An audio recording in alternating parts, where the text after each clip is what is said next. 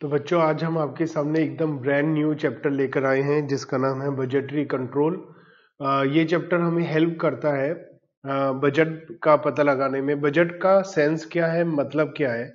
Budget का मतलब है कि आने वाले कल में फ्यूचर में जो भी हमारे एक्सपेंसेस होंगे इनकम होगी, उसका पहले से हम अंदाज़ा लगाते हैं, पहले से हम एस्टिमेशन करते हैं।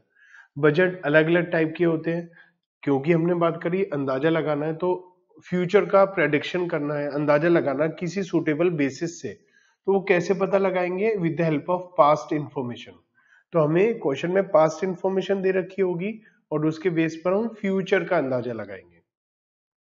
चलिए शुरू करते हैं और बहुत ज़्यादा इंपॉर्टेंट चैप्टर है ये।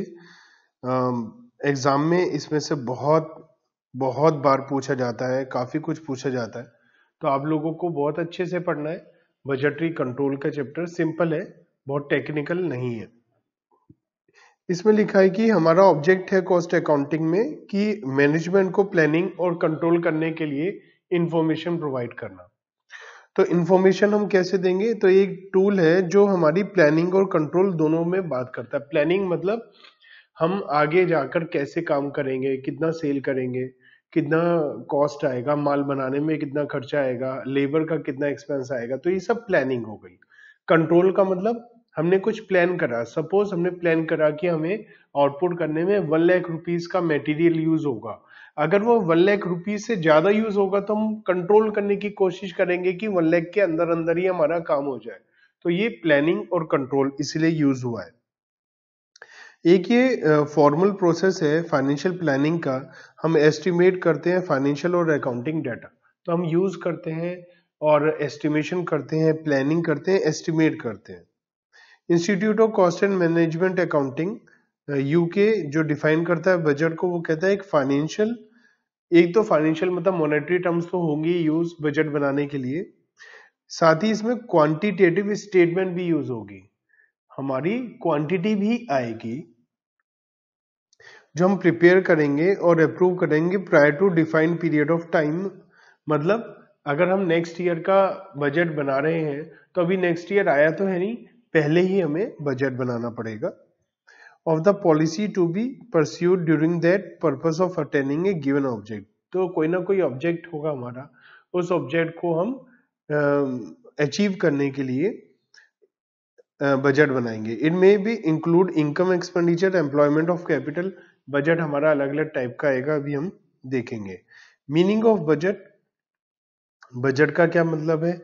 ये एक डिटेल प्लान है। और कुछ फ्यूचर पीरियड के लिए होता है। ये एस्टिमेट होता है एस्टिमेट करते हैं इसमें एडवांस में बनाते हैं, पहले ही बनता है। जहाँ जिस टाइम से रिलेट करता है, उससे पहले ही हम बजट बना लेते हैं। ये एक बिज़नेस पैरामीटर है, जो complete programme of activity business cover करता है। सब कुछ बताएगा, इतना माल बनेगा, इतना लेवल लगेगी, इतना सेल होगा, ये सब अंदाज़ा लगाएँगे। Chartered institute of management accountant London define करता है budget financial quantity statement prior to अभी अभी हमने बात करी थी इसके लिए। तो इसमें एसेंशियल चीज़ें क्या क्या है? इंपॉर्टेंट बातें क्या क्या है? It is prepared in advance और फ्यूचर से रिलेटेड है। एडवांस में बनता है। टाइम से पहले ही हम इसे बनाते हैं। ये फ्यूचर पीरियड से रिलेटेड है और ऑब्जेक्ट जो हमारा उसको अटेन करने के लिए बनाते हैं। ये एक ऐसी स्टेटमेंट है जिसमें मोनेटरी ट्रांजेक्शन मोनेटरी वैल्यू के साथ साथ फ़िज़िकल यूनिट्स भी होती हैं और हम पॉलिसी के हिसाब से मैनेजमेंट के हिसाब से इसको बनाते हैं। हमारे डिफरेंट टाइप के बजट बनते हैं एक बिज़नेस में। अलग अलग पर्पज के लिए अलग अलग बजट होता है। जैसे सेल्स बजट हमारा बनता है फोरकास्टिंग सेल के लिए। हमें सेल करना है देखिए, मैं आपको एक बहुत इंपॉर्टेंट बात बताता हूँ। बताइए सेल पहले होगी या पहले हम रॉ मटेरियल खरीद कर बनाएँगे? रॉ मटेरियल खरीदेंगे फिनिश गुड्स पहले बनाएँगे ना? तो एक्चुअल में क्या होता है? एक्चुअल में पहले हम रॉ मटेरियल परचेज करते हैं, उसके बाद कंज्यूम्ड करते हैं, उसके बाद लेबर का एक्सपेंस होता है साथ में उसके बाद फिनिश गुड्स का प्रोडक्शन होता है। उसके बाद सेल होती है। सेल ऑफ़ फिनिश गुड्स ये एक्चुअल है, लेकिन बजट में क्या होगा? मुझे एक बात बताइए बच्चों, आप जितना माल बनाओगे, उतना सेल हो जाएगा? या जितना सेल होने की उम्मीद है, उस हिसाब से माल बनाओगे? एक, इस क्वेश्चन को एक बार दोबारा से समझते हैं। क्या सेल मेरे हिसाब से होगी, मेरे कंट्रोल में सेल है या मेरे कंट्रोल में प्रोडक्शन है? अगर ध्यान से सोचेंगे तो हमें पता चलेगा कि मेरे कंट्रोल में प्रोडक्शन है। मैं प्रोडक्शन को कम ज़्यादा कर सकता हूँ, लेकिन सेल मेरे कंट्रोल में नहीं है। अदरवाइज़ अगर सेल मेरे कंट्रोल में होगी तो मैं तो जितनी चाहे उतनी सेल करूँगा। प्रोडक्शन का क्या है? मैं सौ आदमी, दो सौ, हज़ार, दस हज़ार लोग रख लूँगा। चौबीस घंटे काम करा लूँगा अलग अलग शिफ्ट में काम करा लूँगा। लेकिन सेल मेरे हाथ में नहीं है सेल मेरे हिसाब से नहीं होती है। जितनी सेल होती है, उस हिसाब से मुझे प्रोडक्शन करनी पड़ती है। जैसे आप किसी मिठाई वाले की दुकान पर जाएँगे तो वो सेल के हिसाब से माल बनाएगा। अगर वो समोसे बना रहा है तो वो सेल के हिसाब से समोसे बनाएगा। ये नहीं कि वो एक हज़ार समोसे बना देगा तो बिक जाएँगे सारे, फिर और बनाता रहेगा, ऐसा नहीं है। सेल हमारे कंट्रोल में नहीं है, हमारी मर्ज़ी से सेल नहीं होती है। हम फिर भी प्रोडक्शन कुछ हद तक अपनी मर्ज़ी से कर सकते हैं। तो बताइए, पहले प्रोडक्शन कर ले, जितनी सेल होगी होगी, कोई बात नहीं, सारी हो जाएगी सेल? नहीं। तो ऐसा नहीं अंधाधुन आप प्रोडक्शन करते चले जाएँगे। प्रोडक्शन करेंगे इस हिसाब से जितनी सेल होनी है। तो जब हम बजट बनाएँगे तो सबसे पहले हम सेल्स बजट बनाएँगे, जो कि सबसे लास्ट में सेल होगी। लेकिन बजट सबसे पहले सेल्स का बनेगा। क्यों?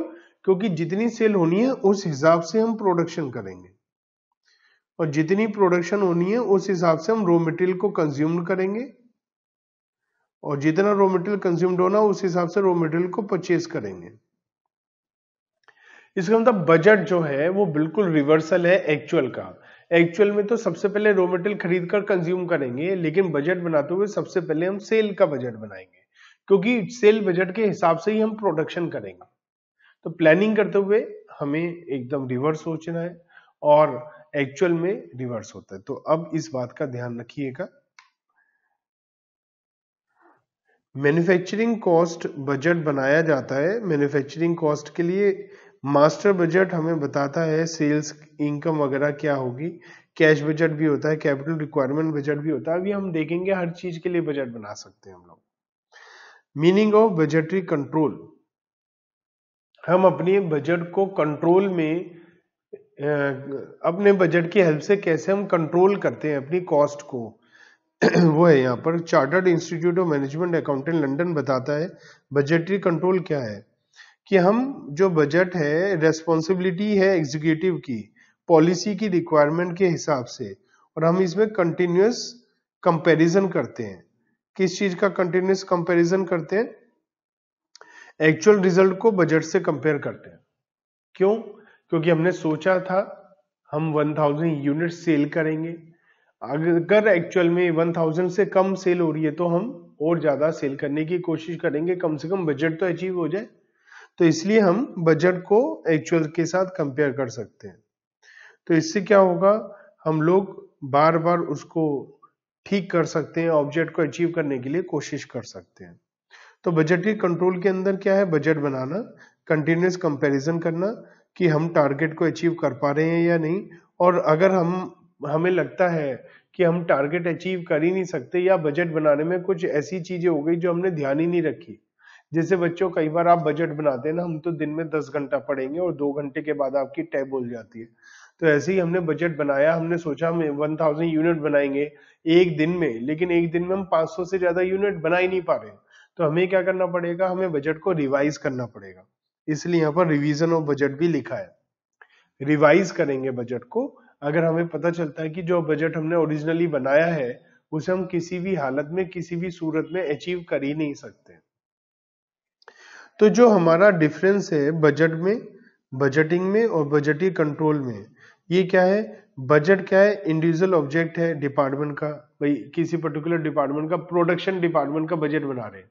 तो उसमें क्या होगा? कितनी प्रोडक्शन करेंगे? कितना माल बनाएँगे? वो क्या है? बजट।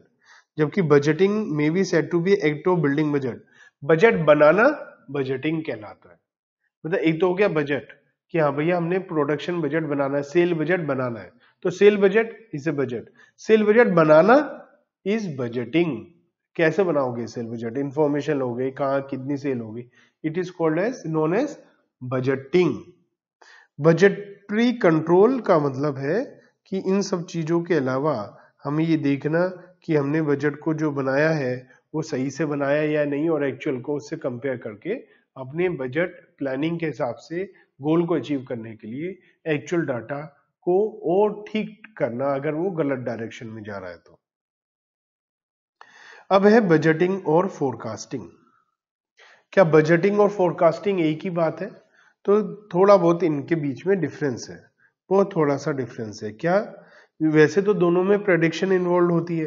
तो हम दोनों में प्रडिक्शन है बजट बनाते हुए भी फ्यूचर का बजट आज बना रहे और फोरकास्टिंग करते हुए भी हम प्रडिक्शन करते हैं। According to the nation and association of accountant USA forecasting is a process of predicting और estimating a future happening future में क्या होगा, उसका पता लगाना, अंदाज़ा लगाना, ये ये फोरकास्टिंग कहलाता है। फोरकास्टिंग एक एसेंशियल पार्ट है बजटरी बजटिंग प्रोसेस बजट बिना फोरकास्ट के, बिना अंदाजे के तो बन ही नहीं सकता। इसका मतलब budgeting is impossible without forecasting forecasting is essential part of budgeting forecasting से हम फ्यूचर का इवेंट का अंदाज़ा लगाते हैं, उसके फ्यूचर में बजट पे क्या इफ़ेक्ट आएगा, ये पता लगाते हैं। Thus budgeting is not merely forecasting of a particular event budget केवल फोरकास्ट करना नहीं है। फोरकास्टिंग मतलब कल बारिश होगी या नहीं होगी, ये भी हमारी फोरकास्टिंग है। It is not simply an estimation of production it is a plan budgeting is a plan मतलब सेल कितनी होगी नहीं, हम कितनी सेल करना चाहते हैं, उसके लिए हम देखेंगे, हमारे पास अवेलेबल रिसोर्सेज कितने हैं, क्या हम उस अवेलेबल रिसोर्सेज से मैक्सिमम कितनी सेल कर सकते हैं डिमांड को भी ध्यान रखना तो इसके अंदर एक प्लानिंग के हिसाब से फोरकास्टिंग करनी है, ऐसे नहीं कि हम जो मर्ज़ी फोरकास्टिंग कर देंगे। इन सिंपल टर्म्स बजटिंग मतलब बजटिंग मतलब budget banana budgeting is an attempt at the beginning of year साल के शुरू में या शुरू होने से पहले और एट द अदर पीरियड उस साल के बीच में भी कई बार हम बाकी पीरियड के लिए बनाते हैं to plan the profit profit कितना होगा? और लॉस अगर होने की उम्मीद है तो कितना होगा? बैलेंस शीट के एंड में हम लोग अलग अलग चीज़ों के लिए अलग अलग पर्पज के लिए बजट बनाते हैं। इसके फ़ायदे क्या होंगे? एडवांटेजेस क्या क्या होंगी बजटिंग की? तो बजटिंग का क्या क्या फ़ायदा होगा? बजटिंग एक इंपॉर्टेंट रोल है। और हमें अपनी रिसोर्सेज का सही इस्तेमाल करने में हेल्प करेगा। और ओवरऑल हमारे गोल को अचीव करने में फ़ायदा करेगा। तो ये बजट क्या करता है? हमें मोटिवेट करता है। सपोज़ हमने बात करी कि हमारी प्रोडक्शन होगी 1000 यूनिट पर डे और हमारी यूनिट्स हो रही है 900 तो हम मोटिवेट होंगे ना, यार, सोचा 1000 था 900 है, बिल्कुल किनारे पे थोड़ा सा और कोशिश करके 1000 यूनिट बना लेते हैं। तो इसीलिए हमें मोटिवेशन होगा। कि हम कितना जल्दी से काम कर सके। पॉइंट नंबर टू जब हमारा एक्सपेंस होगा तो एक लिमिट से ज़्यादा एक्सपेंस हमने सोचा वन लाख रुपीज़ का एक्सपेंस होगा ये चीज़ बनाने में। और अगर वन लाख से ज़्यादा होगा तो एक टेंशन क्रिएट होगी ना, यार हमने सोचा तो था वन लाख उससे ज़्यादा क्यों हो रहा है? तो हम कोशिश करेंगे वन लाख के अंदर अंदर हो जाए। तो हम लोग प्लानिंग करते हैं कंट्रोल में हमारे एक्सपेंस रहता है। मैं आपको एक एग्ज़ाम्पल देता हूँ। बहुत बढ़िया एग्जांपल सपोज़ आपके बर्थडे पर आपके किसी फ्रेंड ने आपको गिफ्ट दिया और आपको लगता है कि वो गिफ्ट लगभग वन थाउज़ेंड रुपीज़ का है. तो अब आप उसके बर्थडे के लिए जब गिफ्ट लेने ही जाओगे तो एक मन में होगा ना कि वन थाउज़ेंड के आसपास का लेना है. ये थोड़ी ना कि वन थाउज़ेंड के आसपास का उसने गिफ्ट दिया तो आप उसे हंड्रेड रुपीज़ का गिफ्ट दोगे या टेन थाउज़ेंड रुपीज़ का गिफ्ट दोगे. हो सकता है आप दे दें, लेकिन जनरली हम क्या करेंगे, कोशिश करेंगे वन थाउज़ेंड का यार उसने दिया तो लगभग वन थाउज़ेंड के आसपास का मुझसे गिफ्ट दे दें. या फिर 1000 के दिखाई देगी 1000 के आसपास का, चाहे वो सस्ता हो। महँगा होगा और 1000 के 1500 रुपए का होगा, लेकिन वो दिखाई देगा 1000 का तो आप नहीं लेंगे। हाँ फाइव सिक्स हंड्रेड का होगा, लगेगा 1000 का तो आप ले लेंगे, पैसा कुछ बच रहा है। ठीक है ना? तो हम लोग एक कंट्रोल के अंदर जाएँगे। जैसे मैं अपनी वाइफ को लेकर जा रहा हूँ एक शॉप पर, साड़ी की दुकान पर लेकर गया तो वहाँ पर क्या होता है? वो बहुत तेज होते हैं, जो सेलमैन होते हैं। वो आपसे पूछते हैं कि आप अपना बजट बता दो कितने तक की साड़ी दिखानी है। ठीक है? तो पता चला, अब वो बड़ी अजीब सी सिचुएशन है वाइफ साथ में बैठी है, और अब हमें बताना है कि क्या रेंज है। तो पूछा हाँ भाई, कितने तक की लेनी है? तो उन्होंने घूर के देखा अच्छा तो हमने कहा, चलो, कोई बात नहीं। सपोज़ हमारी बजट है सेवन थाउज़ेंड तक की साड़ी लेनी है। तो हम उससे क्या कहेंगे, भैया, सात आठ हज़ार तक की साड़ी दिखा दें। और वो बहुत तेज होते हैं। वो क्या करेंगे, पहले दो चार गंदी गंदी दस पाँच सात दस साड़ी गंदी सी दिखाएँगे पाँच छह सात हज़ार की रेंज की। और बीच में क्या करेंगे, एक साड़ी ऐसी दिखा देंगे जो बहुत बढ़िया होगी। गजब की साड़ी होगी और एकदम से पसंद आ जाएगी। हाँ वाइफ कहेगी हाँ ठीक है। मैं कहूँगा, ये ठीक है, चलो, पसंद आ गई। जब वो रेट देखेगा, कहेगा, सॉरी, गलती से ये थोड़ी सी महँगी आ गई। कितने की? ट्वेल्व थाउज़ेंड की, थर्टीन थाउज़ेंड। अब पूरी दुनिया में सारी की सारी साड़ी सात, आठ हज़ार की खुलवा लो, पसंद हुआ जाएगी बारह, तेरह हज़ार रुपए की। तो बजट बिगड़ गया ना तो इससे बचने के लिए क्या कर सकते हैं? मैं तो क्या करूँगा? मैं जाऊँगा और उसे बुला लूँगा। हाँ भैया, इधर आ जा सेलमैन को। भैया, हमारा सात हज़ार का बजट है। अब अगर सात हज़ार से ऊपर की कोई भी साड़ी दिखाई तूने तो ये तेरी गलती है, मैं तुझे सात हज़ार से ज़्यादा नहीं दूँगा। तेरह हज़ार की साड़ी दिखाएगा, तेरह हज़ार की साड़ी सात हज़ार में लेकर जाऊँगा, पहले ही बता रहा हूँ। भैया कंट्रोल में रहना क्योंकि हम तो बच्चों को सिखा रहे हैं बजटरी कंट्रोल तो अपने आप को कंट्रोल में रखना है। वाइफ तो नहीं होगी, उन्हें पसंद आ गई, तेरह हज़ार की तो उन्हें चाहिए चाहिए, तेरह हज़ार रुपए की साड़ी। ठीक है ना? तो हम क्या करते हैं, अपने कंट्रोल में रहते हैं। मतलब ये तो एक हँसी मज़ाक की बात अलग हो गई। जैसे हमने सेवन थाउज़ेंड की साड़ी बोली, वो एट या नाइन थाउज़ेंड की दिखाएगा, हम उसे कहेंगे वो भैया तमीज में रहे। सेवन थाउज़ेंड के अंदर अंदर की दिखा। तो जैसे हम कोई प्लानिंग करते हैं, उसके बाहर जाने लगते हैं तो एक हमारे अंदर घंटी बजती है कि यार, हमें अपने कंट्रोल में रहना है। एक और एग्ज़ाम्पल देता हूँ। आप कार चला रहे हैं स्कूटी चला रहे हैं तो उसके अंदर एक लिमिट होती है आपकी, जिस लिमिट में आप स्पीड में कंफर्टेबल है। सपोज़ कार चल रही है, हाईवे है और आप कंफर्टेबल है 120 की स्पीड पर गाड़ी चल रही है, हाईवे पे पता चला आप आगरा एक्सप्रेस वे पर चले गए और गाड़ी आपकी 150 पे पहुँच गई। तो जैसे ही आपका स्पीडोमीटर पे ध्यान गया 150 पे स्पीड है तो आप क्या करेंगे? यार ये तो ज़्यादा है तो आप उसे वापस 120 के आसपास ले आएँगे। तो ये क्या है? कंट्रोल में कंट्रोल में रहो। तो ऐसे ही हम बजट बनाकर अपने आप को कंट्रोल में रखते हैं एक्सपेंसेस कंट्रोल में रहते हैं। तो एक ये टूल है हमारा, जो हमें गोल को अचीव करने में हेल्प करता है। एंटायर ऑर्गेनाइजेशन का इवेल्यूशन करता है है ना? ये हमें हेल्प करता है कैपिटल का एक्सपेंस कहाँ पर करें, ज़्यादा से ज़्यादा प्रॉफिटेबल चैनल में हम एक्सपेंस करें ताकि हमें फ़ायदा मिल सके।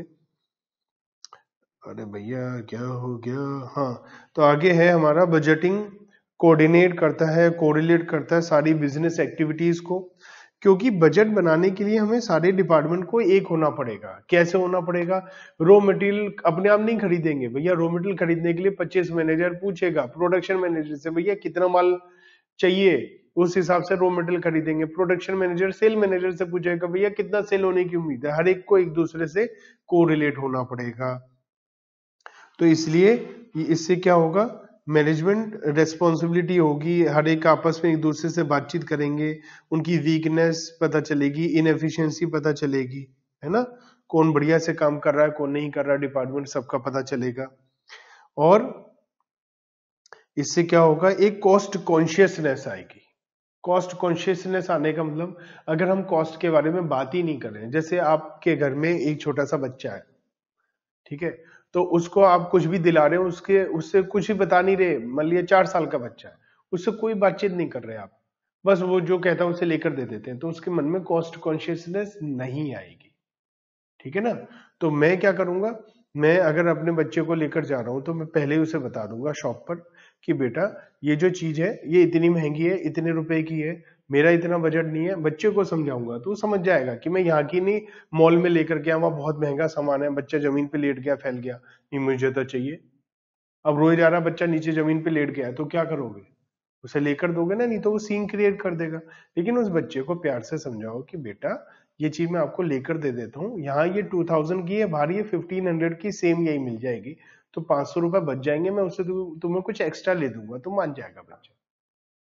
तो उसे मनाना पड़ेगा। लेकिन धीरे धीरे धीरे उसके मन में कॉस्ट कॉन्शियसनेस आएगी कि भैया खर्चा भी होता है, कुछ पैसे देने पड़ते हैं, कम पैसे होते हैं, ज़्यादा पैसे होते हैं। तो ऐसे ही जब आप मैनेजमेंट को बार बार बताओगे, भैया ये खर्चा होना है, आप ये खर्चा कर रहे हो तो एक मन में कहीं ना कहीं कॉस्ट कॉन्शियसनेस आएगी। कहीं लिमिट से ज़्यादा खर्चा तो नहीं हो रहा है। ठीक है? रिसोर्सेज को ढंग से इस्तेमाल करेंगे और प्रॉफिट माइंडलेस प्रॉफिट के बारे में भी पता चलेगा कि हमें ज़्यादा प्रॉफिट कमाना चाहिए। यहाँ से हमें एक पता चलेगा परफॉर्मेंस कैसी हो रही है, ठीक है? साथ ही साथ बजट से हमारा कंपटीशन होता है प्रोडक्शन करते हुए कि कितना प्रोडक्शन पिछली बार हुआ था, कितना इस बार हो रहा है। पहले से सोचा तो प्रोडक्शन कम कर रहे हैं, ज़्यादा कर रहे हैं। ज़्यादा करेंगे, सोचा उससे ज़्यादा करा तो इनाम मांगेंगे। मोटिवेट होंगे, हमें कुछ बोनस मिलेगा। तो ये सारी चीज़ें चलती हैं। बजट आपको एक डिसिप्लिन अप्रोच भी बताता है। प्रॉब्लम का सोल्यूशन आ जाता है अपने आप क्योंकि हमें पहले से ही पता होता है कि डिसिप्लिन में चलना है, बाद में बहुत ज़्यादा प्रॉब्लम ना आए, पहले से ही चलते हैं। ठीक है बजटिंग इसके अलावा ये एक, हर एक बिज़नेस में यूज़ होता है। टोटल नेशनल इकोनॉमी में ये कैसे एम्प्लॉयमेंट है इकोनॉमिक यूज़ ऑफ़ रिसोर्सेज है, इससे सबके लिए फ़ायदे का रहता है। अगर आप वेस्टेज नहीं करेंगे किसी चीज़ में तो सब लोगों का फ़ायदा होगा। बजटिंग में कुछ लिमिटेशन है। आप ज़्यादा टेंशन मत लो। आप ऐसा मत सोचो, सर, ये कहाँ फंसा दिया? ये तो थ्योरी का चैप्टर है। नहीं थ्योरी नहीं है, ये न्यूमेरिकल है। अभी न्यूमेरिकल बस होने वाला है। थोड़ा सा हम बेसिक थ्योरी के बारे में भी बातचीत कर ले। नहीं तो आप लाइफ में कभी इसे पढ़ोगे तो है नहीं आराम से दोबारा। लिमिटेशन बजटिंग की लिमिटेशन क्या है? कि प्लानिंग जब हम करते हैं तो उसके लिए कोई एग्जैक्ट साइंस नहीं है। अंदाज़ा लगाना फ्यूचर के बारे में। तो तुक्का ही मानना है एक तरीके से तो ये पर्सनल जजमेंट पे डिपेंड करता है। ठीक है ना? तो आपको एकदम असली अंदाज़ा नहीं है कि फ्यूचर में क्या होने वाला है। तो जो आपने बजट सोचा है, उसमें कुछ ना कुछ चेंजेस तो ज़रूर होंगी होंगी। तो जो सक्सेस होगा और बजट का, वो आपस में सारे मैनेजमेंट के लोगों का आपस में कोऑर्डिनेशन पे डिपेंड करेगा। बहुत समय तक हमारा बजट इसलिए फेल हो जाता है कि जो एग्जीक्यूशन करने के बजाय लोग एक दूसरे को ये कहते हैं, अभी तू कर ये कर, वो कर, तुम बताओ, ये बताओ, खुद करने के बजाय। तो सब लोगों को काम करना पड़ता है, मेहनत करनी पड़ती है, तभी सही बजट बन पाता है। बजट केवल एक टूल है। ये केवल बताता है कि हाँ भाई, आपको ये काम करना है है ना? तो इसके अलावा ये कुछ नहीं कर सकता। ये आपको डिटेल इन्फॉर्मेशन नहीं गोल वगैरह कुछ बहुत ज़्यादा नहीं बताएगा, बस ये बताएगा कि ये काम होना चाहिए था, इतने खर्चे में होना चाहिए था। अब कम ज़्यादा जो भी है, वो आप देखिए। बजट बनाने में समय लगता है तो टाइम टेकिंग प्रोसेस है, एकदम से जल्दी से नहीं बनता है तो ये एक बहुत दिक्कत बात है। और दूसरा कि बजट पर बहुत ज़्यादा ध्यान रखेंगे तो और भी बहुत सारे टाइप की अलग अलग दिक्कतें आती हैं। एक तो इससे बजट बनाने में खर्चा भी होता है। दूसरा, इसके फ़ायदे के साथ दूसरा नुकसान ये है सपोज़ हमने कहा कि 1000 यूनिट रोज बननी है। अब क्या हुआ? शाम को पाँच बजे छुट्टी होती है, चार बजे ही 1000 यूनिट बन गई। तो एक घंटा एम्प्लॉय मज़े करेंगे कि काम हो गया, धीरे से काम करेंगे, एकदम मस्ती में आ जाएँगे सेफ़ एक सेफ़ मोड में आ जाएँगे कि यार हमारा आज का काम हो गया। अगर, यही अगर हमारा बजट नहीं होता वन थाउज़ेंड का तो हो सकता हम आज के दिन twelve hundred thirteen hundred unit बना देते। जैसे हम एक टारगेट की तरफ़ पहुँच जाते हैं तो हम थोड़े ढीले हो जाते हैं। ठीक है जैसे आ, मैच हो रहा है क्रिकेट टीम हो रही है उन्होंने सोचा कि हमें 300 रन बनाने हैं। तो जैसे 300 के आसपास आएँगे तो थोड़े ढीले हो जाएँगे टारगेट अचीव हो गया। कई बार ये नुकसानदायक होता है कई बार फ़ायदेमंद होता है जैसे 1000 यूनिट बनानी है 900 बनी 950 बनी थोड़ा और कोशिश करके 1000 आज का टारगेट पूरा कर लेते हैं। तो वहाँ ये मोटिवेशनल फैक्टर हो जाता है। लेकिन अगर हमारा टारगेट इजीली अचीव हो रहा है तो हम थोड़े ढीले पड़ जाते हैं है ना? तो ये एक प्रॉब्लम भी है इसमें।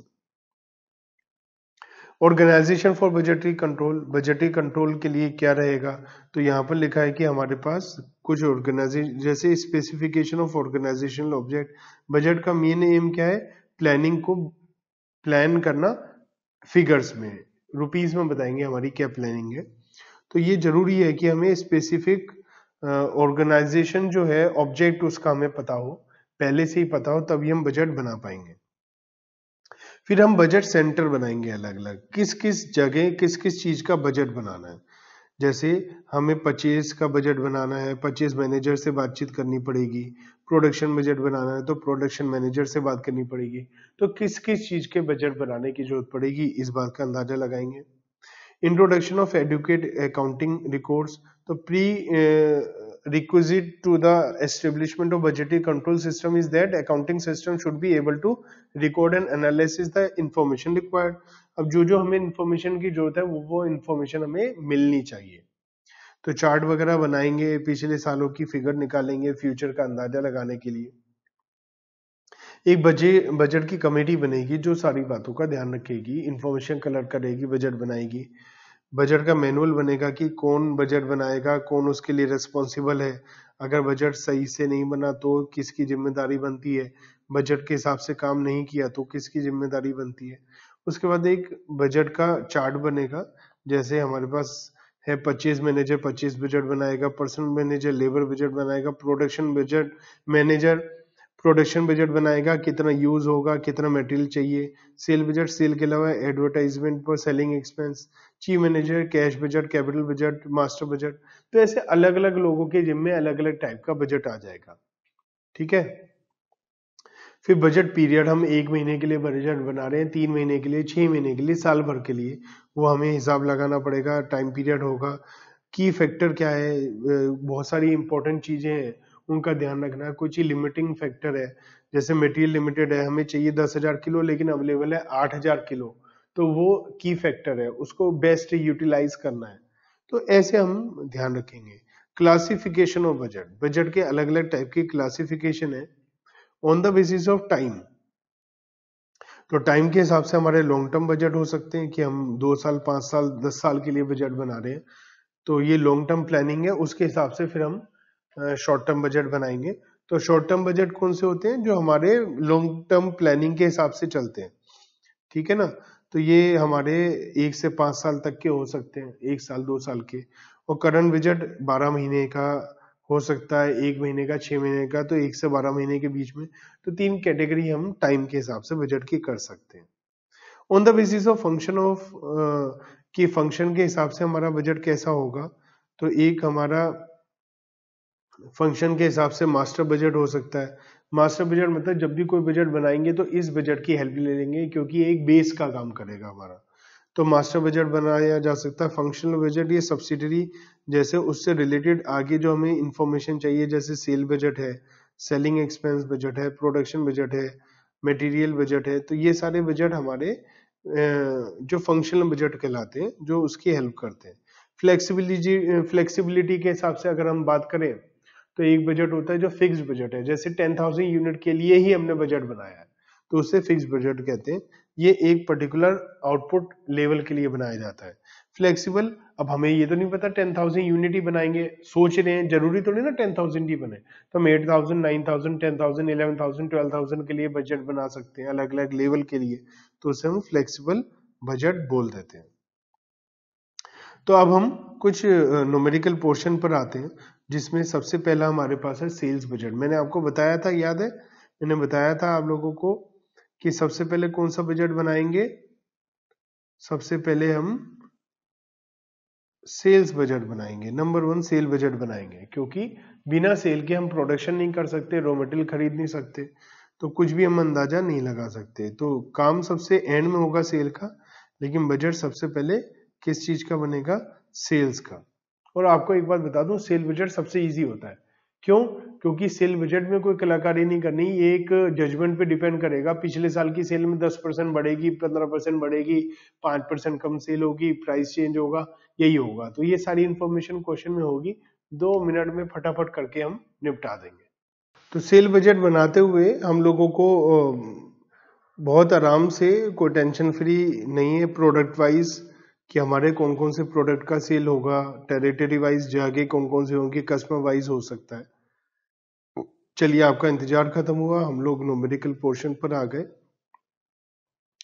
क्वेश्चन नंबर वन है हमारे पास, और यहाँ पर पीकेसीसी लिमिटेड है।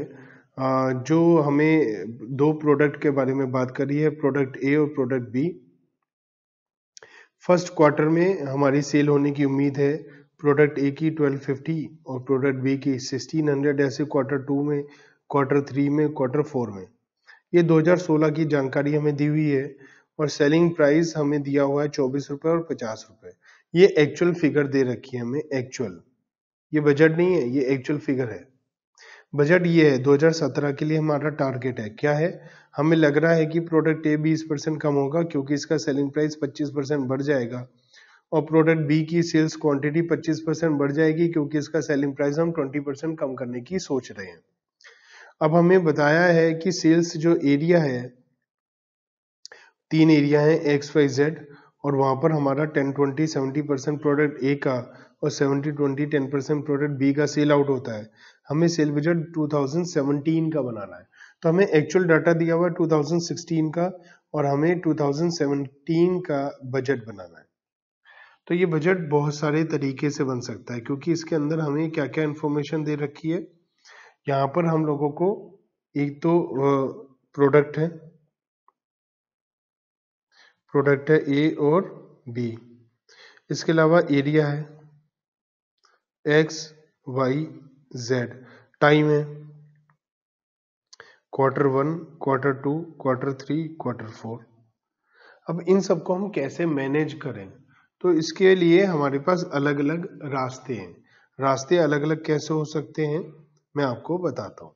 हम लोग ऐसा बजट बना सकते हैं कि प्रोडक्ट ए है area X Y Z B product है area X Y Z quarter one quarter two quarter three quarter four ऐसा बनाया जा सकता है। हम कैसे बना सकते हैं? Area X product A B area Y product A B area Z product A B और quarter one quarter two quarter three quarter four ये इस बात पे डिपेंड करता है कि आपके लिए प्रायोरिटी क्या है या ज़्यादा इंपॉर्टेंट क्या है। अगर आपके लिए प्रोडक्ट ज़्यादा इंपॉर्टेंट है तो आप ऐसे बनाएँगे। अगर आपके लिए एरिया ज़्यादा इंपॉर्टेंट है तो आप ऐसे बनाएँगे, क्योंकि आप ये पता लगाना चाहते हैं कि इस एरिया में कितनी सेल होती है। मेन इंपॉर्टेंट आपके लिए एरिया है। और हम इसको और बहुत सारे अलग अलग मेथड से बना सकते हैं। वो क्या हो सकता है? देखिए। हम लोग ऐसा कर सकते हैं quarter one quarter two quarter three quarter four और इसमें ए और बी उसमें X Y Z X Y Z क्या हम ये भी कर सकते हैं? कि क्वार्टर वन में ई e और बी कितना सेल हो रहा है क्वार्टर टू में बी और यहाँ पर एक्स वाई जेड तो हमारे पास बहुत सारे मेथड है क्वेश्चन करने के। लेकिन आपको एक बात बता दूँ, कोशिश करना है आप लोगों को कि जैसा क्वेश्चन दिया है, उसी टाइप से प्रेजेंटेशन करने की कोशिश करें। जैसा क्वेश्चन दिया है, अगर उसके अलावा ज़्यादा उछल कूद मचाओगे तो आप टेंशन में आ सकते हो। मतलब आपको प्रोडक्ट ए और प्रोडक्ट बी कॉर्नर फॉर्म में दिया है। तो आप जब बजट बनाएँगे तो आप पूरी कोशिश करेंगे कि आपके बजट के अंदर ए और बी कॉलम में ही हो। प्रोडक्ट ए और बी ऐसे बिल्कुल नहीं लीजिए, क्योंकि यहाँ पर आप गलत गलत कर बैठेंगे, गलती होने के चांसेस बहुत ज़्यादा हो जाएँगे। तो पहले मैं इसको प्रोडक्ट ए को एक्स वाई जेड और total product B X Y Z और टोटल तो ऐसे मेरे पास ऑप्शन है और quarter number one quarter two quarter three और क्वार्टर फोर ये है। अभी तो मेरे पास सेलिंग प्राइस भी है। वो भी मुझे लिखना पड़ेगा। तो मैं यहाँ पर प्रोडक्ट ए एक्स एरिया में यहाँ पर क्वांटिटी और अमाउंट दोनों से बना सकता हूँ। ऐसे तो बहुत ज़्यादा अलग अलग वेराइटी है हमारे पास अलग अलग टाइप से हम बना सकते हैं। तो इसे मैं क्या करता हूँ, दो पार्ट में डिवाइड करके आपको बनवाता हूँ ताकि आपको समझ में आए इजीली तो मैं quarter one two three four में प्रोडक्ट ए और बी के लिए बनाता हूँ और यहाँ पर क्वांटिटी इसका रेट और अमाउंट लिख देता हूँ। फिर इसकी क्वांटिटी इसका रेट और इसका अमाउंट ठीक है? बच्चों प्रोडक्ट ए की बात करें तो प्रोडक्ट ए का सेलिंग प्राइस था 24 और सेलिंग प्राइस 25 परसेंट बढ़ रहा है। तो अगर मैं 24 में 25 परसेंट एड कर दूँ तो ये आता है मेरा थर्टी रुपीज़ तो इसका मतलब थर्टी रुपीज़ का मेरा रेट रहेगा प्रोडक्ट ए का। प्रोडक्ट ए का रेट थर्टी रुपीज़ हो गया। ये बात क्लियर हो गई। अब क्वांटिटी की बात करते हैं। किसी चीज़ का रेट बढ़ाएँगे तो ज़्यादातर उम्मीद है कि उसकी क्वांटिटी कम हो जाएगी सेल कम हो जाएगी रेट बढ़ाने पर। ज़्यादातर चांसेस यही है। और यही दिया हुआ है कि सेल क्वांटिटी 20 परसेंट डाउन हो रही है। तो इसका मतलब अगर मैं वन टू फाइव ज़ीरो में से ट्वेंटी परसेंट लेस कर दूँ तो ये वन थाउज़ेंड यूनिट बैठती। अगर टू नाइन फाइव ज़ीरो में से ट्वेंटी परसेंट लेस कर दूँ तो सीधा मैं एट्टी परसेंट निकाल दूँ तो two three six zero units हो जाती हैं। टू वन सिक्स ज़ीरो और टू फोर एट ज़ीरो और टोटल हमारी जो यूनिट्स होती हैं, वो एट थाउज़ेंड होती हैं। अब हम बात करते हैं अमाउंट की तो one thousand into thirty thirty thousand two three six zero into thirty seventy thousand eight hundred sixty four eight hundred और सेवेंटी फोर फोर हंड्रेड। ये टोटल जो अमाउंट आ गई टू लैख फोर्टी थाउज़ेंड आ गई। अब हम प्रोडक्ट बी की बात करते हैं। प्रोडक्ट बी के अंदर रेट हमारा सेलिंग प्राइस डिक्रीज होने की उम्मीद है ट्वेंटी परसेंट तो पचास रुपए में से ट्वेंटी परसेंट डाउन हो जाएगा तो फोर्टी रुपीज़ का रेट रह जाएगा। क्वांटिटी हमारा रेट कम होगा तो क्वांटिटी बढ़ने की उम्मीद है। तो 1600 में हम 25 परसेंट बढ़ा देते हैं। तो 2000 यूनिट की क्वांटिटी हो जाएगी यहाँ पर। और 1800 800 में 1000 हो जाएगी। 1000 में 1250 और 600 में 750 इंटू फोर्टी तो 2000 into forty eighty thousand 1000 into 40 40000 1250 into 40 50000 750 into 40 30000 और टोटल टू लाख और ये टोटल यूनिट्स 5000 तो एक हमने बजट बनाया जिसके अंदर अभी हमने एरिया की कोई बातचीत नहीं करी कोई इंकॉर्पोरेशन नहीं करा, हमने केवल प्रोडक्ट ए और बी के बारे में बात करी। अब अगर हम एरिया को भी कंसीडर करें तो साथ में क्वांटिटी को भी करें तो बहुत ज़्यादा बड़ा हो जाएगा। तो क्वांटिटी वाइज हमने ब्रेकअप तो कर लिया। अब अगर मैं केवल रुपीज़ के हिसाब से बात करूँ तो मेरे पास एरिया एक्स वाई जेड है और quarter one quarter two quarter three quarter four है। और एरिया मेरे पास एक्स वाई जेड है और टोटल का भी कॉलम मैं बना सकता हूँ। टोटल ठीक है एक्स वाई जेड और total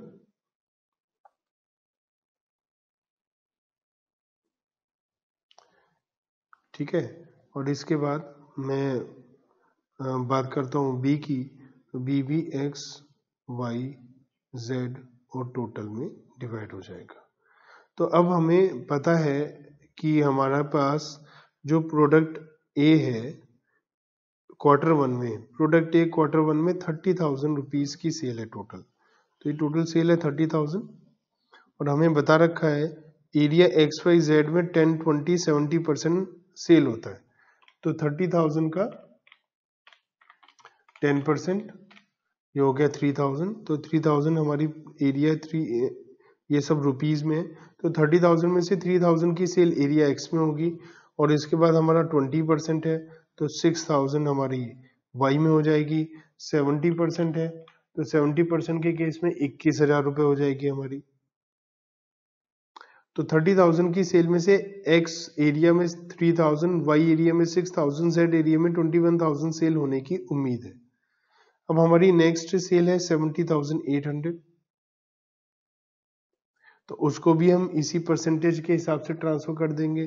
Ten percent seven zero eight zero twenty percent fourteen thousand one sixty और seventy percent forty nine thousand five hundred sixty अब हम बात करते हैं थर्ड क्वार्टर में, जहाँ सेल होने की उम्मीद है sixty four eight hundred again इसका ten percent six four eight zero फिर इसका twenty percent twelve thousand nine sixty और seventy percent forty five three sixty हमारे पास लास्ट क्वार्टर की सेल है seventy four thousand four hundred ten percent seven four four zero twenty percent fourteen thousand eight eighty seventy percent fifty two thousand eighty हम चाहें तो इसका total भी कर सकते हैं। उससे पता चल जाएगा कि टोटल सेल हमारी दो लाख चालीस हज़ार जो हमने पहले भी निकाल रखी है टू फोर्टी सेल होगी और एरिया जो एक्स है, उसमें प्रोडक्ट ए की जो टोटल सेल होगी, वो ट्वेंटी फोर थाउज़ेंड होगी और वाई की फोर्टी एट थाउज़ेंड होगी। वाई एरिया में प्रोडक्ट ए की सेल और one sixty eight thousand rupees की सेल हमारी एरिया जेड में होगी। अब हम प्रोडक्ट बी की बात करते हैं। अब प्रोडक्ट बी का टोटल हमें दिया eighty thousand forty thousand fifty thousand thirty thousand total two lakh अब यहाँ बता रखा है कि बी की सेल सेवेंटी परसेंट होती है एरिया एक्स में। तो एट्टी थाउज़ेंड का seventy percent fifty six thousand फिर ट्वेंटी परसेंट तो एट्टी थाउज़ेंड का ट्वेंटी परसेंट सिक्सटीन थाउज़ेंड फिर टेन परसेंट एट्टी थाउज़ेंड का टेन परसेंट एट थाउज़ेंड फिर फोर्टी थाउज़ेंड कैसे करेंगे? ट्वेंटी एट थाउज़ेंड और सेवेंटी परसेंट उसके बाद है ट्वेंटी परसेंट तो फोर्टी थाउज़ेंड का twenty percent eight thousand four thousand fifty thousand का seventy percent thirty five thousand ten thousand five thousand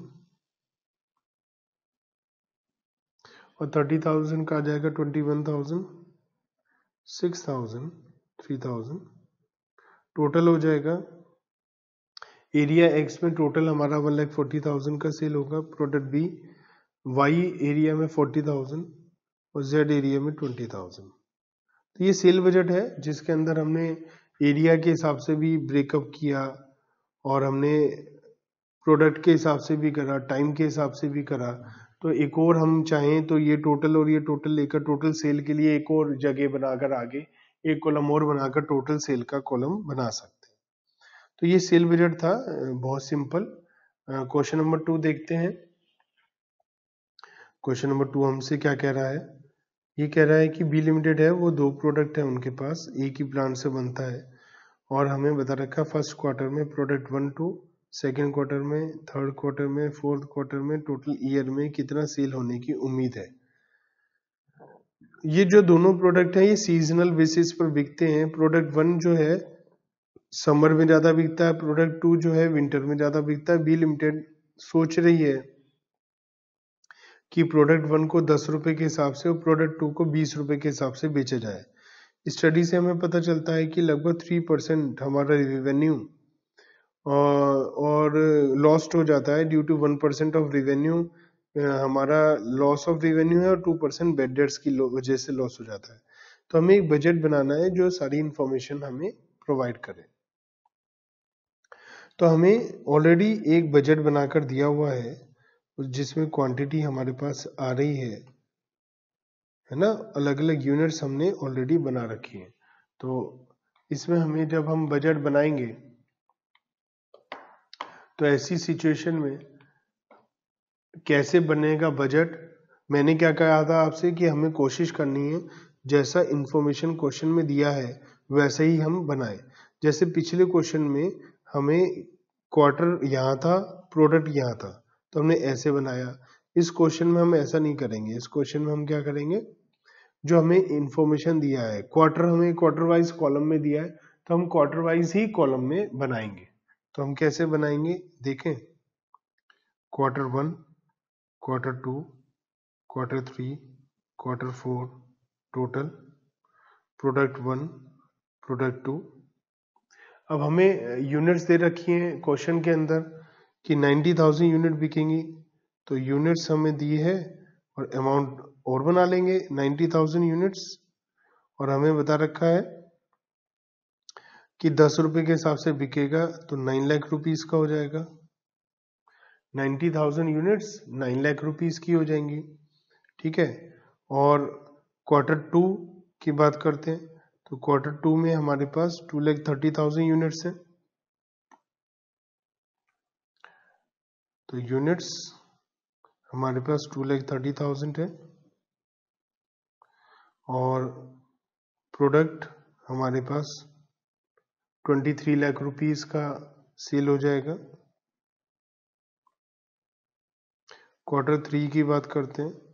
units हमें दे रखी है। थ्री लैख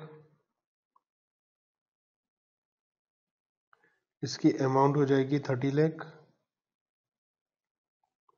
ऑल्टरनेटिवली हम क्या कर सकते थे? हम लोग क्वार्टर वाइज यूनिट्स और क्वार्टर वाइज रुपीस का अलग अलग बना सकते थे। क्वार्टर फोर क्वार्टर फोर में हमारे पास यूनिट्स हैं eighty thousand eight lakh rupees की। ठीक है? और हम टोटल भी बना सकते हैं चाहे तो। टोटल यूनिट्स और अमाउंट तो टोटल हमारे पास जो यूनिट्स हैं, वो सेवन लैख है और अमाउंट सेवेंटी लैख है। तो ये हमारे पास प्रोडक्ट वन की जानकारी आ गई। प्रोडक्ट टू प्रोडक्ट टू है eighty five thousand seventy five thousand fifty five thousand eighty five thousand और थ्री लैख रेट है इसका ट्वेंटी रुपीज़ तो eighty five thousand into twenty हमारे पास सेकंड प्रोडक्ट का आ जाएगा seventeen lakh seventeen thousand into twenty fifteen lakh fifty five thousand into twenty eleven lakh eighty five thousand into twenty seventeen lakh और three lakh into twenty sixty lakh अब हम इसका total कर लेते हैं। टोटल आ जाएगा हमारे पास। तो जो टोटल यूनिट्स में सेल होनी है नाइन्टी थाउज़ेंड और eighty five one lakh seventy five thousand और अमाउंट में twenty six lakh two lakh thirty plus seventy five thousand three lakh five thousand three lakh fifty five thousand one lakh sixty five thousand और ten lakh ये हमारी units हैं। और अगर हम value देखें तो twenty six lakh thirty eight lakh forty one lakh और सेवनटीन लैख और eight lakh twenty five lakh ये रुपीज़ में हमें क्वेश्चन में दे रखा है कि हमारे, हमें लॉस होता है थ्री परसेंट का। तो हम उस लॉस को लेस करके दिखा सकते हैं। Less 3% लॉस ऑफ़ रिवेन्यू तो 26 लाख का 3 परसेंट सेवेंटी एट थाउज़ेंड तो हमारे को उम्मीद है कि 25 लाख 22,000 हमारे पास रिवेन्यू जनरेट हो जाएगा। यूनिट्स तो हमारे पास one lakh seventy five thousand ही सेल होंगी। क्वार्टर टू क्वार्टर टू के अंदर हमारा जो थर्टी एट लैख का थ्री परसेंट है वन लैख फोर्टीन थाउज़ेंड हो जाएगा।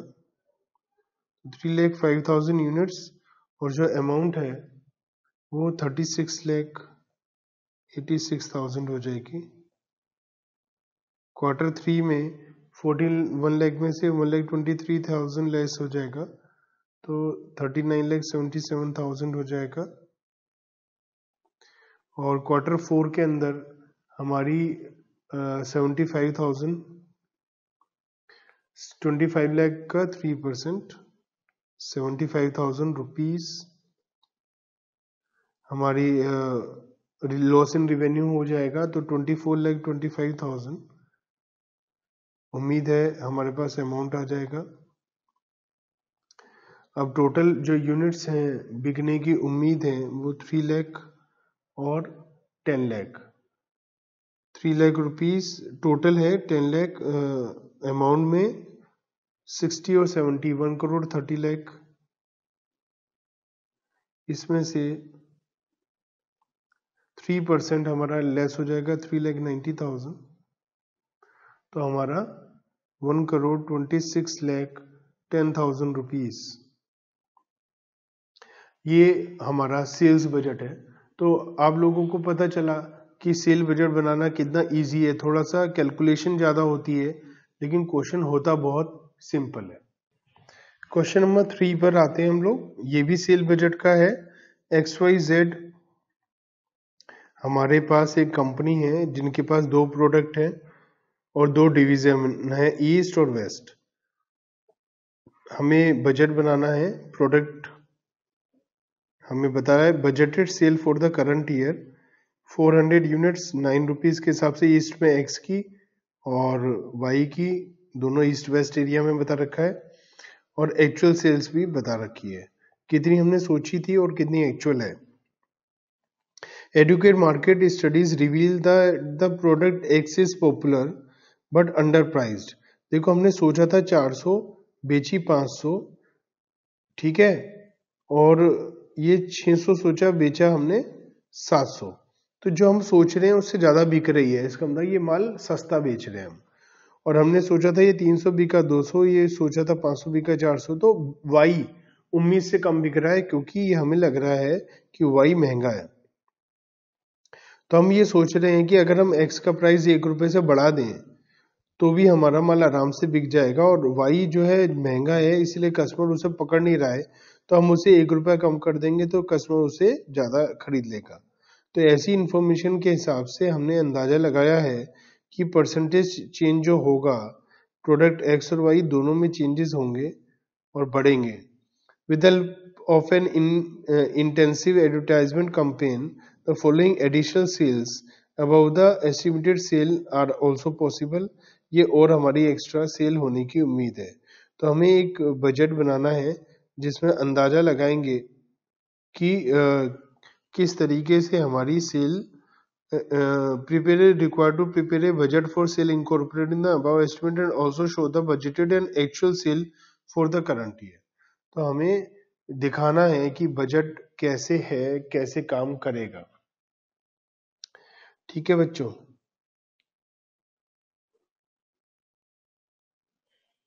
अब हम प्रोडक्ट वाइज करना शुरू करते हैं। तो कैसा बजट हमें दिखाई देगा? हमें बता रखा है कि जो बजट है, वो करंट ईयर में, करंट ईयर का बजट कितना है? करंट ईयर का एक्चुअल कितना है? और आगे, फ्यूचर का हमें अंदाज़ा लगाना है, वो भी क्वेश्चन में दिया हुआ है। तो बनाते हैं, सेल्स बजट।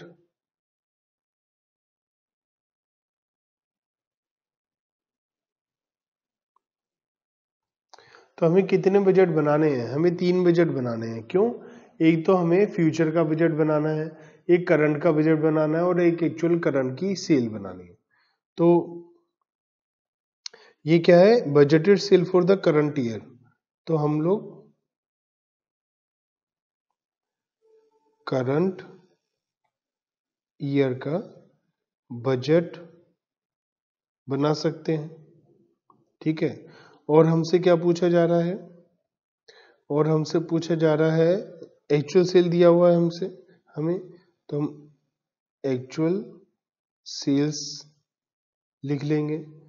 और एक हमें बनाना है बजट फॉर द फ्यूचर तो बजट फॉर फ्यूचर एक हमें ये बजट बनाना है तो हमें तीन बजट अलग अलग बनाने हैं अब हमारे पास ये सवाल उठता है कि हम प्रोडक्ट वाइज ब्रेकअप करें या कैसे ब्रेकअप करें? तो प्रोडक्ट तो हमें दिए हुए हैं एक्स और वाई तो हम चाहें तो इसी हिसाब से कर सकते हैं। जैसे करंट ईयर का बजट बनाएँ तो हमें करंट ईयर का बजट दिया हुआ है ईस्ट और वेस्ट में। प्रोडक्ट एक्स और वाई है। तो अब हमारे को क्वांटिटी भी चाहिए तो उसके लिए थोड़ी सी जगह कम पड़ेगी, मैं जगह बढ़ा लेता हूँ। हम्म।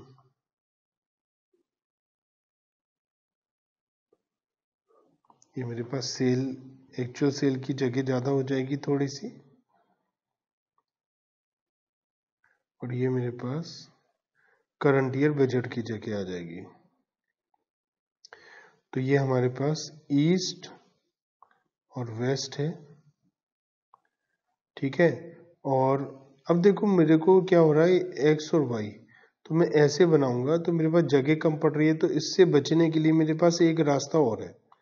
क्यों ना मैं यहाँ पर क्या करूँ? ईस्ट में एक्स और वाई और वेस्ट में एक्स और वाई के लिए बना लूँ तो मेरे लिए बहुत आसान हो जाएगा। क्यों? क्वांटिटी और अमाउंट रेट चाहे तो लिख सकते हैं।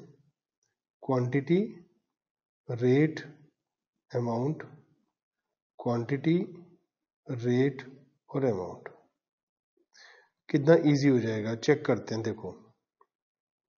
ईस्ट में प्रोडक्ट एक्स और वाई ये है। तो इसकी रेट है, ये है हमारे पास budgeted sale for the current year तो करंट ईयर बजट है ये तो 409 के हिसाब से 321 के हिसाब से। तो 409 के हिसाब से और 321 के हिसाब से हो गया 3600 और 6300 और 9900 इस 700 यूनिट्स। अब वेस्ट में क्या है ये सिचुएशन तो अगर वेस्ट में देखें तो 609 521 तो 609 5400 का 521 10500 का। तो ये 1100 यूनिट्स और हमारा 15900 का हो गया। ठीक है? हम चाहें तो और भी टोटल कर सकते हैं। अगर हम यहाँ टोटल लिख देंगे तो ये 700 और 1100 1800 यूनिट्स हो जाएगा। 9900 और 15900 तो ये हमारा 25800 हो जाएगा। तो इस तरीके से हम लोग बना सकते हैं। अब हम एक्चुअल सेल की बात करते हैं। एक्चुअल सेल्स है एक्स की 500 9 221 700 9 421 तो 500 into nine, forty five hundred, two hundred into twenty one, forty two hundred तो ये एटी सेवन हंड्रेड हो जाएगा। और seven hundred into nine, sixty three hundred, four hundred into twenty one, eighty four hundred, total हमारे पास fourteen thousand seven hundred हो जाएगा। Unit seven hundred units 1100 grand total 1800 और अमाउंट का 8700 और 14700 23400 अब हम फ्यूचर के लिए बजट की बात करते हैं। जो फ्यूचर का बजट होगा, वो हमें बता रखा है कि percentage increase in the sales over budget जो हमारा करंट बजट था, उसमें क्या चेंजेस होने की उम्मीद है? करंट बजट में टेन परसेंट की सेल बढ़ेगी एक्स की। तो करंट बजट में फोर हंड्रेड है। फोर हंड्रेड में हमारी फोर हंड्रेड में टेन परसेंट बढ़ जाएगी। तो फोर हंड्रेड में टेन परसेंट प्रोडक्ट एक्स की बढ़ेगी। From the information based on the price changes report for settlement the following instrument have been prepared by the divisional manager percentage increase in sales over budget is this. With the help of incentive advertisement campaign, the additional sale will increase is this. तो दो increase हो रही है। एक तो ten percent हमारा increase हो रहा है और दूसरा सिक्सटी इंक्रीज हो रहा है। तो मैं यहाँ पर लिख देता हूँ क्वांटिटी एक्स की ईस्ट एरिया में कितनी हो रही है? पहले कितनी थी? और over budget budget current year budget 400 का था। इसमें टेन परसेंट इंक्रीज हो रहा है plus ten percent four forty plus sixty increase हो रहा है फाइव हंड्रेड एक बार मैं आपको दोबारा समझा देता हूँ। हमें क्वेश्चन में बता रखा है कि जो भी इंक्रीमेंट हो रहा है वो इंक्रीमेंट सेल बजट पे हो रहा है। तो ये है करंट ईयर का सेल बजट ठीक है? तो करंट ईयर का सेल्स ये है तो 400 यूनिट्स ये लिख दी मैंने। 10 परसेंट इंक्रीज होना है 10 परसेंट इंक्रीज कर दिया। फिर 60 इंक्रीज होना है 60 और इंक्रीज कर दिया तो ये 500 हो गया। और रेट की बात करते हैं तो रेट हमारा नौ रुपये था। अब बोल रखा है, एक रुपये से बढ़ाना है तो रेट हो जाएगा दस रुपये का। तो ये फाइव थाउज़ेंड यूनिट्स होने की उम्मीद है। वाई की बात करते हैं तो y की है 300 y में 20 परसेंट इंक्रीज होगा 360 40 इंक्रीज होगा 400 तो 400 यूनिट्स रेट 21 था, कम हो गया एक रुपए से 20 रह गया।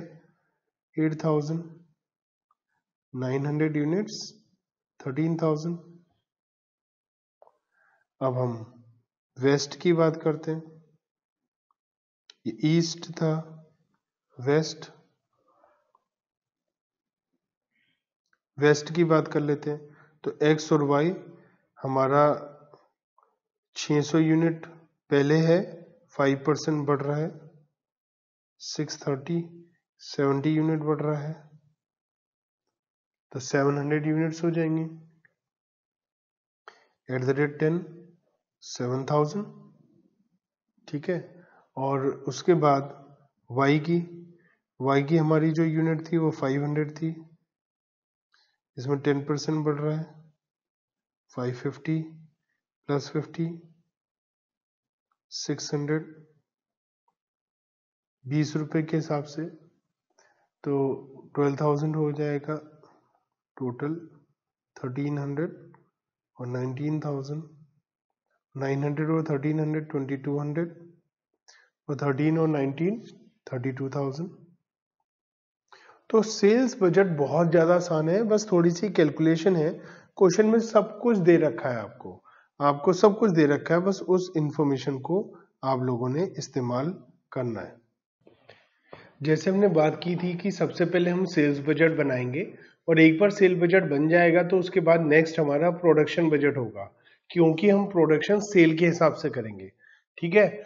सेल जितनी होने की उम्मीद है, उसके हिसाब से ही हम प्रोडक्शन करेंगे। तो after preparation of sales budget हम बनाएँगे प्रोडक्शन बजट अब सेल बजट बन गया प्रोडक्शन बजट की ज़रूरत है। It is a plan of forecast of the output of the business divided into various product हमारे पास अलग अलग प्रोडक्ट हो सकते हैं। हम लोग क्या करेंगे? अलग अलग प्रोडक्ट का हिसाब किताब लगाएँगे, कितनी सेल होने की उम्मीद है और हमें कितना माल अपने पास में रखना है। बच्चों, ये तो हो नहीं सकता कि अगर हमारी सेल होने की उम्मीद है टेन थाउज़ेंड यूनिट्स तो हमारा आउटपुट भी टेन थाउज़ेंड यूनिट ही करेंगे हम। और लास्ट में जो हमारे पास सेल करने के लिए आएगा, दस यूनिट चाहिए तो दस यूनिट ही रखी है, ले ले भैया। ऐसा नहीं होता है। हमें अपना स्टॉक मेंटेन करना पड़ता है।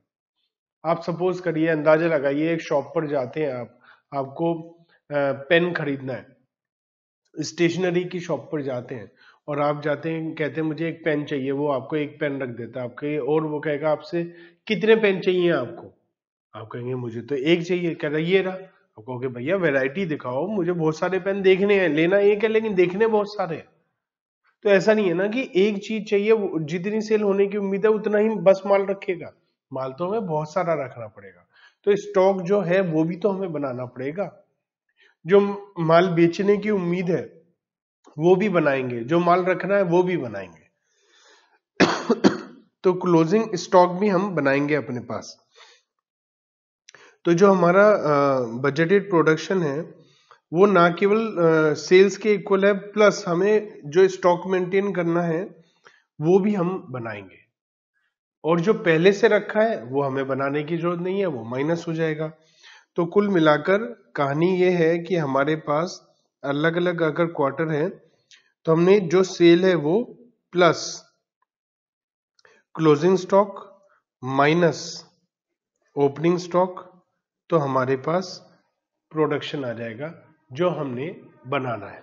तो कुल मिलाकर एक सिंपल सी बात है सेल्स प्लस एस्टिमेटेड ये एस्टिमेटेड सेल है plus estimated closing stock minus estimated opening stock और ये हमारा प्रोडक्शन आ जाएगा प्रोडक्शन बजट आइए मिलकर करते हैं क्वेश्चन नंबर फोर। यहाँ पर हमें प्रोडक्शन बजट बनाना है तीन महीने के लिए, जो थर्टी फ़र्स्ट मार्च को एंड हो रहा है, और हमारे पास चार प्रोडक्ट हैं। तो कैसे करें कैसे करें? चार प्रोडक्ट हैं ए बी सी डी ऐसा भी बना सकते हैं, ठीक है?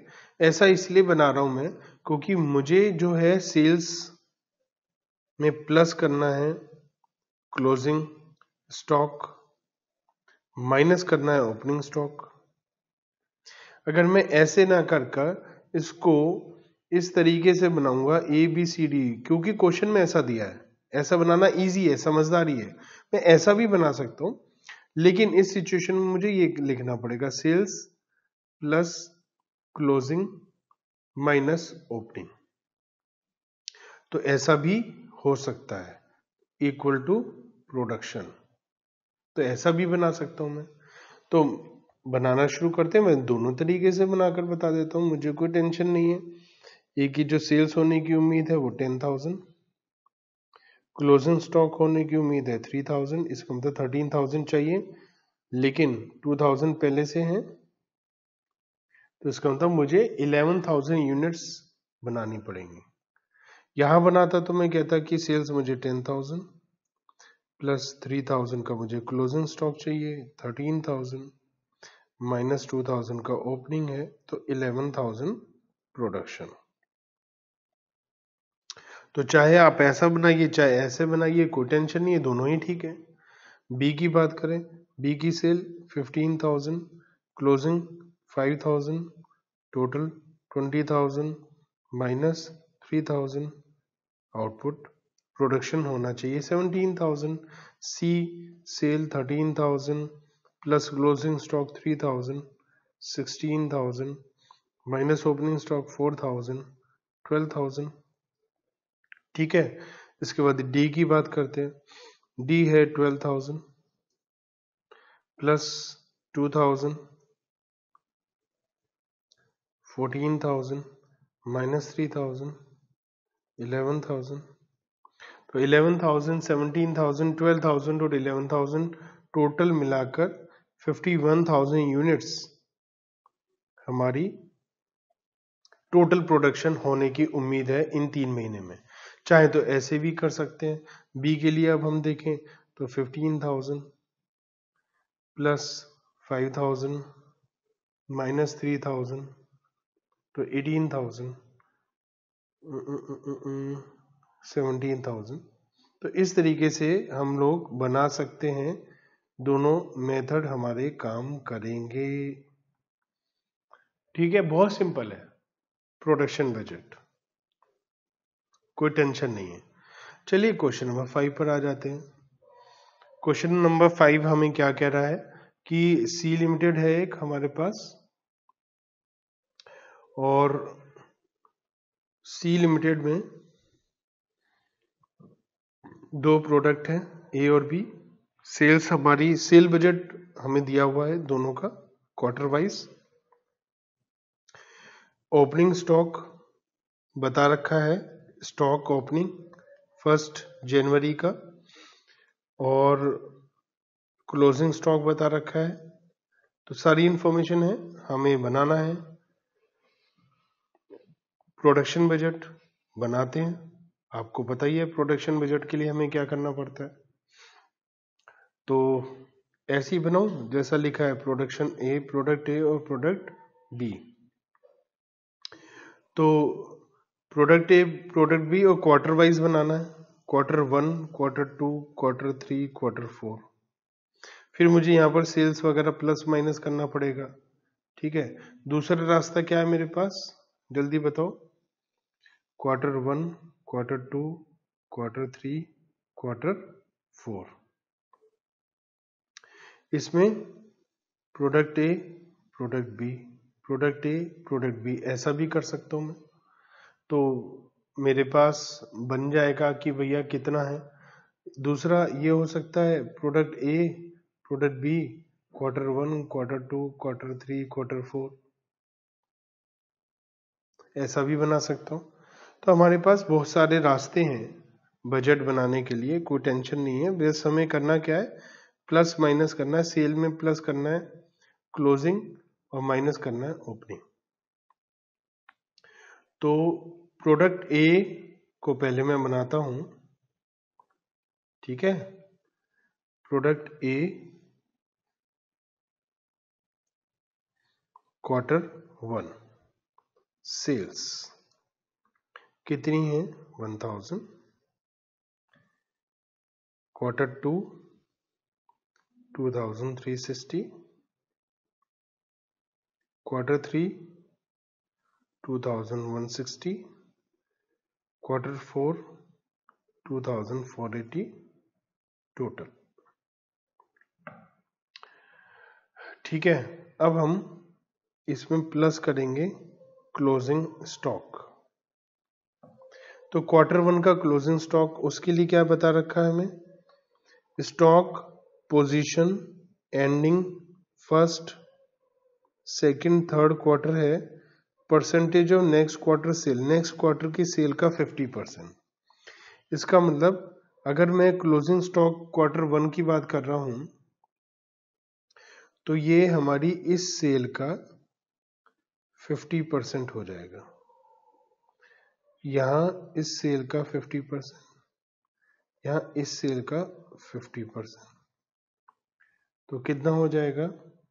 टू थ्री एट ज़ीरो का फिफ्टी परसेंट तो टू थ्री सिक्स ज़ीरो का fifty percent two three six zero का fifty percent one one eight zero two three six zero का fifty percent one one eight zero तो ये हो गया two thousand one eighty minus opening stock अब opening stock हमें दे रखा है percentage of first quarter sales twenty percent तो हमारे को जो फ़र्स्ट क्वार्टर की सेल है, ये इसका ट्वेंटी परसेंट ओपनिंग दिया हुआ है। तो ये आ जाएगा वन थाउज़ेंड का ट्वेंटी परसेंट टू हंड्रेड तो ये हो जाएगा nineteen eighty production first quarter की। अब हम सेकेंड क्वार्टर की बात करते हैं, जो यहाँ का ओपनिंग स्टॉक है, वो यहाँ का क्लोजिंग स्टॉक, यहाँ का ओपनिंग हो जाएगा। चलो उसकी बात बाद में करेंगे। टू वन सिक्स ज़ीरो का fifty percent, one zero eight zero ये हमारा क्लोजिंग स्टॉक है क्वार्टर टू का टोटल हो गया three thousand four hundred forty और जो ओपनिंग स्टॉक है क्वार्टर टू का क्वार्टर टू का ओपनिंग स्टॉक मतलब क्वार्टर वन का क्लोजिंग क्वार्टर वन का क्लोजिंग किसके इक्वल है? क्वार्टर टू के ओपनिंग के. तो क्वार्टर टू का ओपनिंग क्या होगा? क्वार्टर वन का closing one one eight zero तो three thousand four forty minus one one eight zero two two six zero. तो टू थाउज़ेंड टू सिक्सटी हमारा क्वार्टर टू का प्रोडक्शन आ गया। अब हम क्वार्टर थ्री की बात करते हैं। क्वार्टर थ्री में हमारे पास टू फोर एट ज़ीरो का fifty percent one two four zero ये क्लोजिंग स्टॉक आ गया plus two one six zero thirty four hundred अब क्वार्टर थ्री का ओपनिंग क्या होगा? क्वार्टर टू का closing one zero eight zero two three two zero आ जाएगा हमारा। बहुत आसान है। अगर आप ध्यान से समझेंगे तो बहुत आसान है। कोई टेंशन की बात नहीं है। अब क्वार्टर फोर का क्लोजिंग क्वार्टर फोर के क्लोजिंग के लिए हमें बता रखा है ट्वेंटी टू हंड्रेड सीधा दिया हुआ है। तो two four eight zero plus twenty two hundred four six eight zero इसमें से माइनस कर देंगे ओपनिंग जो पिछली बार का क्लोजिंग है, वो इस साल का ओपनिंग है वन टू फोर ज़ीरो तो थ्री डबल फोर ज़ीरो तो ये three double four zero two three two zero two two six zero और वन नाइन एट ज़ीरो तो टोटल टेन थाउज़ेंड का हमारा आउटपुट है प्रोडक्ट ए का। प्रोडक्ट ए का आउटपुट है हमारा टेन थाउज़ेंड यूनिट्स अब हम बात करते हैं दूसरे नंबर पर प्रोडक्ट बी की। बिल्कुल ऐसी quarter one quarter two quarter three quarter four और टोटल तो क्वार्टर वन की सेल कितनी है इसकी? टू थाउज़ेंड क्वार्टर टू की sale one thousand one thousand two fifty और सेवन फिफ्टी टोटल बंद कर अब हमारे पास है क्लोजिंग स्टॉक क्लोजिंग स्टॉक के लिए बोला हुआ है, यहाँ पर भी नेक्स्ट क्वार्टर की सेल का 50 परसेंट हमारा क्लोजिंग स्टॉक हो जाएगा। तो यहाँ क्वार्टर वन में नेक्स्ट क्वार्टर की सेल का 50 परसेंट फाइव हंड्रेड ये क्लोजिंग हो गया। यहाँ पर 50 परसेंट सिक्स ट्वेंटी फाइव यहाँ fifty percent three seventy five और लास्ट में क्लोजिंग स्टॉक वन थाउज़ेंड दिया हुआ है। तो ये हमारी सेल्स है, ये हमारा क्लोजिंग है twenty five hundred one thousand six twenty five twelve fifty plus three seventy five again sixteen twenty five और सेवनटीन फिफ्टी माइनस ओपनिंग जो ओपनिंग स्टॉक है, वो सेम क्वार्टर की सेल का हंड्रेड परसेंट है, इसका हंड्रेड परसेंट टू थाउज़ेंड तो five hundred का हमारा आउटपुट हो जाएगा। फिर हमारी जो पिछली बार का क्लोजिंग है, वो नेक्स्ट टाइम का ओपनिंग हो जाएगा वन वन टू फाइव उसके बाद फिर हमारा जो क्लोजिंग है नेक्स्ट टाइम का ओपनिंग हो जाएगा वन थाउज़ेंड और closing one three seven five जो टोटल आउटपुट है 500 प्लस 1125 प्लस 1000 प्लस 1375 4000 का आउटपुट, टोटल प्रोडक्ट बी का होगा। टोटल मिलाकर हमारा 14000 यूनिट्स का आउटपुट होगा ए और बी का मिलाकर। तो प्रोडक्शन बजट में sales plus closing stock minus opening stock करना है। सेल भी फिनिश गुड्स की होती है, क्लोजिंग स्टॉक भी फिनिश गुड्स का होता है और ओपनिंग स्टॉक भी यहाँ पर फिनिश गुड्स का ही हम लेते हैं। एक क्वेश्चन और है हमारे पास। जो हमें बताएगा कि भैया हमें कितना इंफॉर्मेशन जो जो इंफॉर्मेशन दी हुई है, उसके बारे में हमें बात बता रहा है। तो क्वेश्चन नंबर सिक्स है। ये कह रहा है कि डी लिमिटेड है और ये प्रोड्यूस्ड करता है एक सिंगल प्रोडक्ट सेल्स हमें बजट बना रखा है सेल्स हमें ऑलरेडी दे रखा है अलग अलग क्वार्टर वाइज सेल्स हमें ऑलरेडी गिवन है। अब हमें बता रखा है 2016 में ओपनिंग स्टॉक 4000 होने की उम्मीद है और क्लोजिंग स्टॉक 6500 होने की उम्मीद है। प्रोडक्शन जो है, वो हमारा स्केड्यूल्ड है इस तरीके से कि two third of the current quarter sale और one third of the following quarter demand ये हम प्रोडक्शन करते हैं। तो प्रोडक्शन हमारी पहले ही एक महीना जल्दी हो जाता है। कैसे अभी हम उसके बारे में बात करते हैं? क्या क्वेश्चन में लिखा है, क्वार्टर वन में हमारी जो प्रोडक्शन है two third of the current quarter. मतलब इसमें हमारे तीन महीने हैं, इन तीन महीने में से टू थर्ड मतलब दो महीने की हम प्रोडक्शन इस क्वार्टर की जो सेल है, उसकी प्रोडक्शन इसी क्वार्टर में करते हैं, दो महीने की, तीन में से।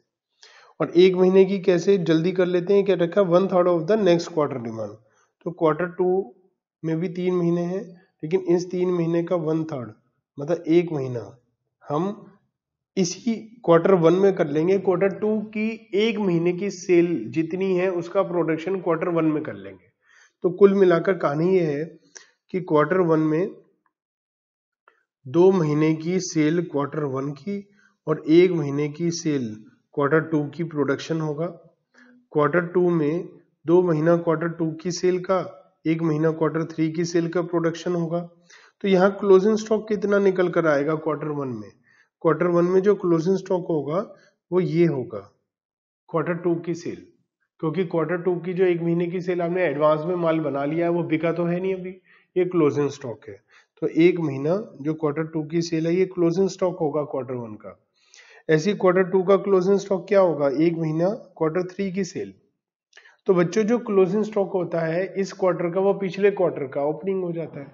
इस लिहाज से यहाँ पर जो ओपनिंग आएगा, वो वो होगा जो पिछले क्वार्टर का क्लोजिंग होगा मतलब एक महीना क्वार्टर वन एक महीना क्वार्टर टू इस तरीके से चलेगा।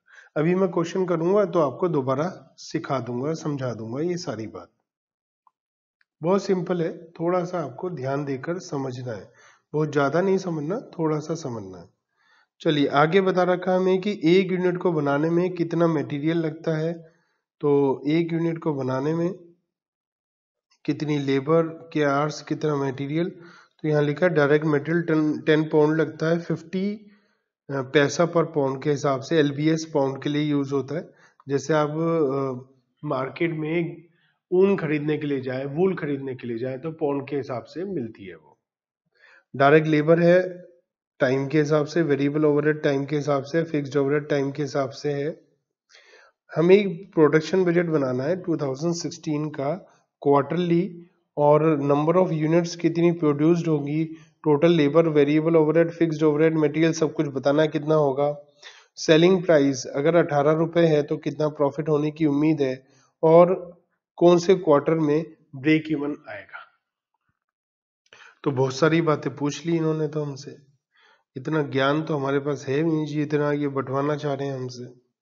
हाँ आप लोग बच्चे बहुत होशियार हैं और समझदार हैं, इसलिए मेरा मन कर रहा है कि आपको ये ज्ञान थोड़ा सा बांट दिया जाए। चलिए, शुरुआत करते हैं। हमें बनाना है क्वार्टरली सेल्स का हिसाब। तो quarter one, quarter two, quarter three, quarter four और total. Sales twelve thousand units fifteen thousand units sixteen thousand units eighteen thousand units तो ये तो हमारी टोटल सेल्स हो गई। ठीक है? अच्छा यहाँ पर हमें वो वाला फॉर्मूला नहीं लगाना कि sale plus closing minus opening क्योंकि यहाँ सीधा बता रखा है प्रोडक्शन कितनी है। प्रोडक्शन कितनी बता रखी है production two third of the current quarter sales two third of current quarter sales मतलब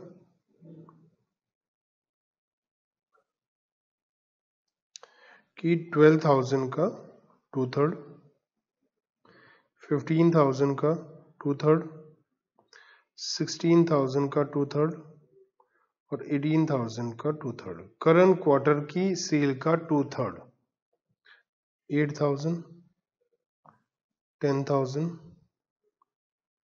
sixteen thousand into two by three ten thousand six hundred sixty seven और 12,000 अब बात करते हैं one third of next quarter sales. One third of the following quarter sales. तो अगली cell है हमारी बारह हज़ार, पंद्रह हज़ार। तो पंद्रह हज़ार का वन थर्ड पाँच हज़ार। सोलह हज़ार का one third five thousand three hundred thirty three. Eighteen thousand का वन थर्ड सिक्स थाउज़ेंड और क्लोजिंग इन्वेंट्री हमें बता रखा है सिक्सटी फाइव हंड्रेड तो ये क्लोजिंग इन्वेंट्री क्या होगी जो मैंने आपको बताया था? क्लोजिंग इन्वेंट्री, दोबारा से समझो। देखिए, हम क्वार्टर वन में क्वार्टर फोर की बात बताता हूँ, चलो। क्वार्टर फोर में हमारी जो प्रोडक्शन होगी, वो होगी दो महीना क्वार्टर फोर का और एक महीने की production quarter one of next year तो हम सेल करेंगे ये ये हमारे स्टॉक में रहेगा। क्लोजिंग स्टॉक एक ओपनिंग स्टॉक भी होगा। वो होगा एक महीने की सेल क्वार्टर फोर की, जो, क्योंकि वो पिछली बार हमने बना ली होगी। तो ये भी सेल हो जाएगी इस बार। और ये क्लोजिंग स्टॉक हो जाएगा। तो क्लोजिंग स्टॉक नेक्स्ट क्वार्टर की सेल का वन मंथ होगा।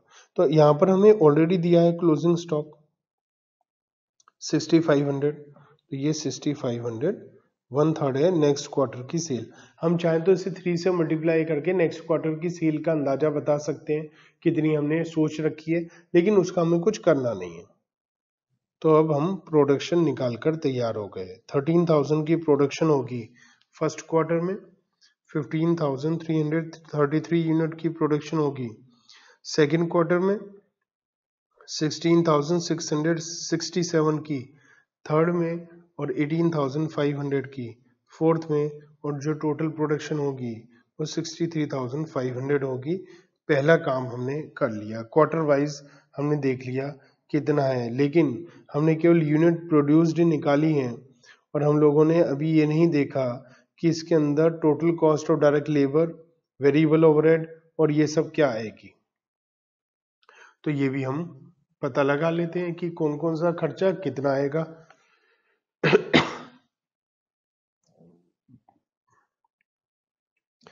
तो हमें हर एक की कॉस्ट और निकालनी है।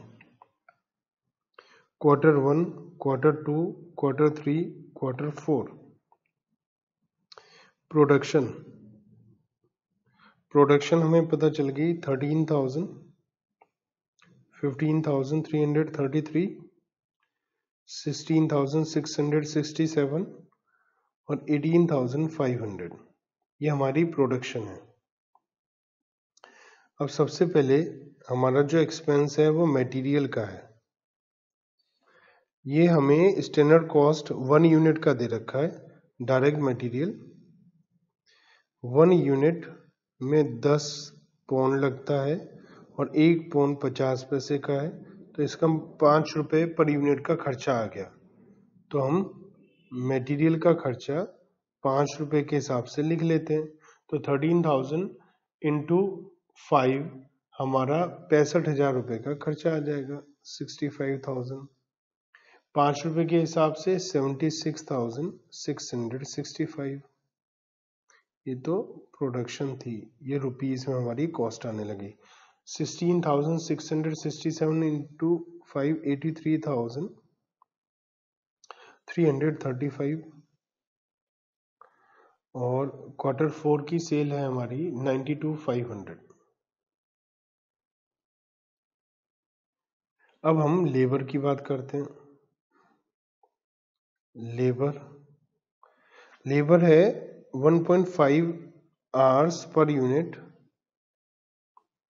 1.5 आवर्स पर यूनिट और एक घंटे का चार रुपया तो पर यूनिट छह रुपए का एक्सपेंस हो गया लेबर का। एक बार फिर से, एक यूनिट को बनाने में 1.5 आवर्स लगते हैं, डेढ़ घंटा। और एक घंटे का चार रुपया तो डेढ़ घंटे का छह रुपया तो छह रुपये पर यूनिट का लेबर का खर्चा आ गया।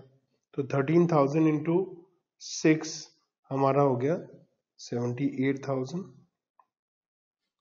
ninety one, nine ninety eight, वैसे ये नाइन्टी टू थाउज़ेंड है। राउंड ऑफ़ करने की वजह से फ़र्क आ रहा है। वन लैख टू, ये एक्चुअल में वन लैख है। One lakh eleven thousand. Next है वेरिएबल ओवरहेड 1.5 पर आवर कैसे? वेरिएबल ओवरहेड एक घंटा तीस मिनट पॉइंट फाइव आवर्स और एक रुपया घंटे के हिसाब से डेढ़ रुपए का खर्चा आ जाएगा। तो वेरिएबल ओवरहेड हमारा डेढ़ रुपए के हिसाब से, एक रुपये पचास पैसे के हिसाब से खर्चा आ जाएगा। तो thirteen thousand into one rupee fifty paisa, ये होता है हमारा overhead nineteen thousand five hundred twenty three thousand twenty five thousand और twenty seven thousand seven fifty इसके बाद नेक्स्ट एक्सपेंस है फिक्स्ड ओवरहेड जो दो रुपये घंटा है और हमने सोचा है साल भर में नब्बे हज़ार घंटे लगेंगे। तो फिक्स्ड ओवरहेड नब्बे हज़ार घंटे लगेंगे दो रुपये के हिसाब से। एक लाख अस्सी हज़ार एक साल का खर्चा होगा। चार क्वार्टर हैं, पैंतालीस हज़ार रुपये हर एक क्वार्टर का खर्चा हो जाएगा। तो forty five thousand rupees fixed overhead का खर्चा हो जाएगा। तो forty five thousand forty five thousand forty five thousand forty five thousand तो ये टोटल हमारी टोटल कॉस्ट होने की उम्मीद है। कितनी? अगर मैं इसमें, क्योंकि आगे मुझे ब्रेक इवन पॉइंट भी निकालना है तो टोटल वेरिएबल कॉस्ट चलिए वो निकाल लेंगे। टोटल कॉस्ट निकाल लेता हूँ मैं sixty five thousand seventy eight thousand nineteen thousand five hundred और ये टोटल वेरिएबल कॉस्ट है। Total variable cost one lakh sixty two thousand five hundred और total cost two lakh seven thousand five hundred ये हमारे पास एक first quarter की cost आ गई। उसके बाद सेवेंटी सिक्स थाउज़ेंड। वैसे वेरिएबल कॉस्ट हम बहुत आराम से निकाल सकते हैं। पाँच रुपये छः रुपये ग्यारह रुपये और एक रुपये पचास पैसे। बारह रुपये पचास पैसे। ट्वेल्व पॉइंट फाइव को अगर मैं मल्टीप्लाई कर दूँ थर्टीन थाउज़ेंड से तो ये आया जाता है। Total variable cost is at the rate twelve rupees fifty paisa बारह रुपये पचास पैसे के हिसाब से हमारा एक्सपेंस आ जाएगा। अब हमारे पास नेक्स्ट क्वार्टर की अगर हम कॉस्ट देखें तो ये भी साढ़े बारह रुपये के हिसाब से आ जाएगा। तो fifteen thousand three hundred thirty three into twelve point five तो ये भी हमारी टोटल कॉस्ट आ जाएगी one lakh ninety one thousand six hundred sixty three one lakh ninety one thousand six hundred sixty three ये वेरिएबल कॉस्ट आ जाएगी। और इसमें प्लस फोर्टी फाइव थाउज़ेंड कर देंगे तो टोटल कॉस्ट आ जाएगी two lakh thirty six thousand six hundred sixty three और ये है sixty six thousand sixteen thousand six hundred sixty seven into twelve point five ये वेरिएबल कॉस्ट आ जाएगी।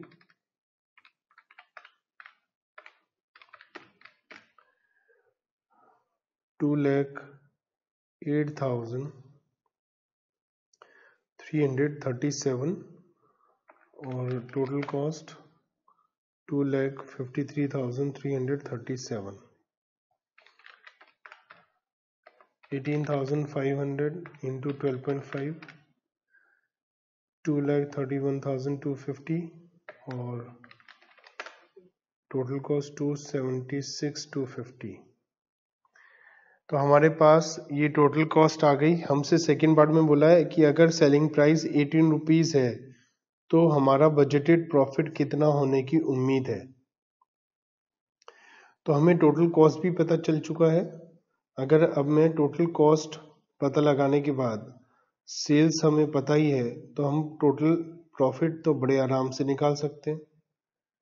तो करते हैं कार्यक्रम और निकालते हैं सेल्स लिखते हैं। तो सेल्स हमारे पास कितनी हो जाएगी? At the rate sales. ये टोटल सेल्स है हमारे पास twelve thousand plus fifteen thousand plus sixteen thousand plus eighteen thousand. तो जो सेल होने की उम्मीद है, वो है twelve thousand, fifteen thousand, sixteen thousand और eighteen thousand. Sixty one thousand units at the rate rupees eighteen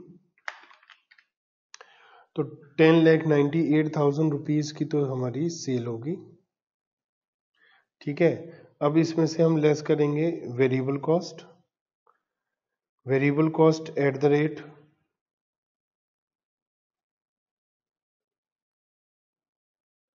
twelve point five आ जाएगी, साढ़े बारह रुपए के हिसाब से वेरिएबल कॉस्ट। तो sixty one thousand units into twelve point five तो seven lakh sixty two thousand five hundred हमारा वेरिएबल कॉस्ट हो गया। तो इस सेल में से वेरिएबल कॉस्ट लेस कर देते हैं तो उसको हम कंट्रीब्यूशन बोलते हैं। हम पहले बात कर चुके हैं इसके बारे में।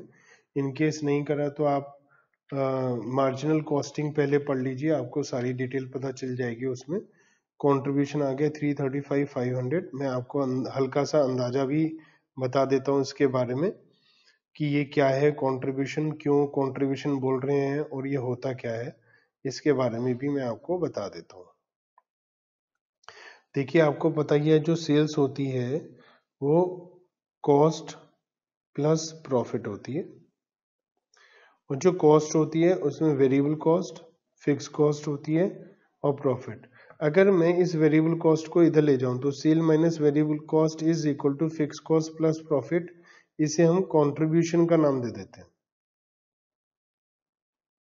अब इस कंट्रीब्यूशन में से अगर मैं फिक्स कॉस्ट लेस कर दूँ तो मेरा आंसर क्या आएगा? प्रॉफिट तो यही काम कर रहा हूँ मैं। इसमें से लेस कर रहा हूँ मैं फिक्स्ड कॉस्ट फिक्स कॉस्ट हमने कैलकुलेशन कर ही रखा है। Total fix cost one lakh eighty thousand है। तो three lakh thirty five thousand five hundred minus one lakh eighty thousand तो one lakh fifty five thousand five hundred rupees का हमें प्रॉफिट होगा। ऐसा हम अंदाज़ा लगा सकते हैं। तो सेकंड पार्ट का भी हमने आंसर निकाल लिया।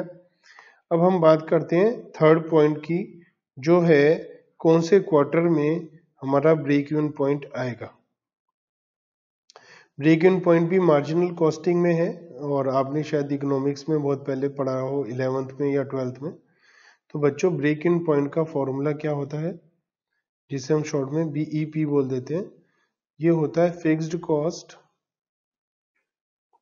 upon contribution per unit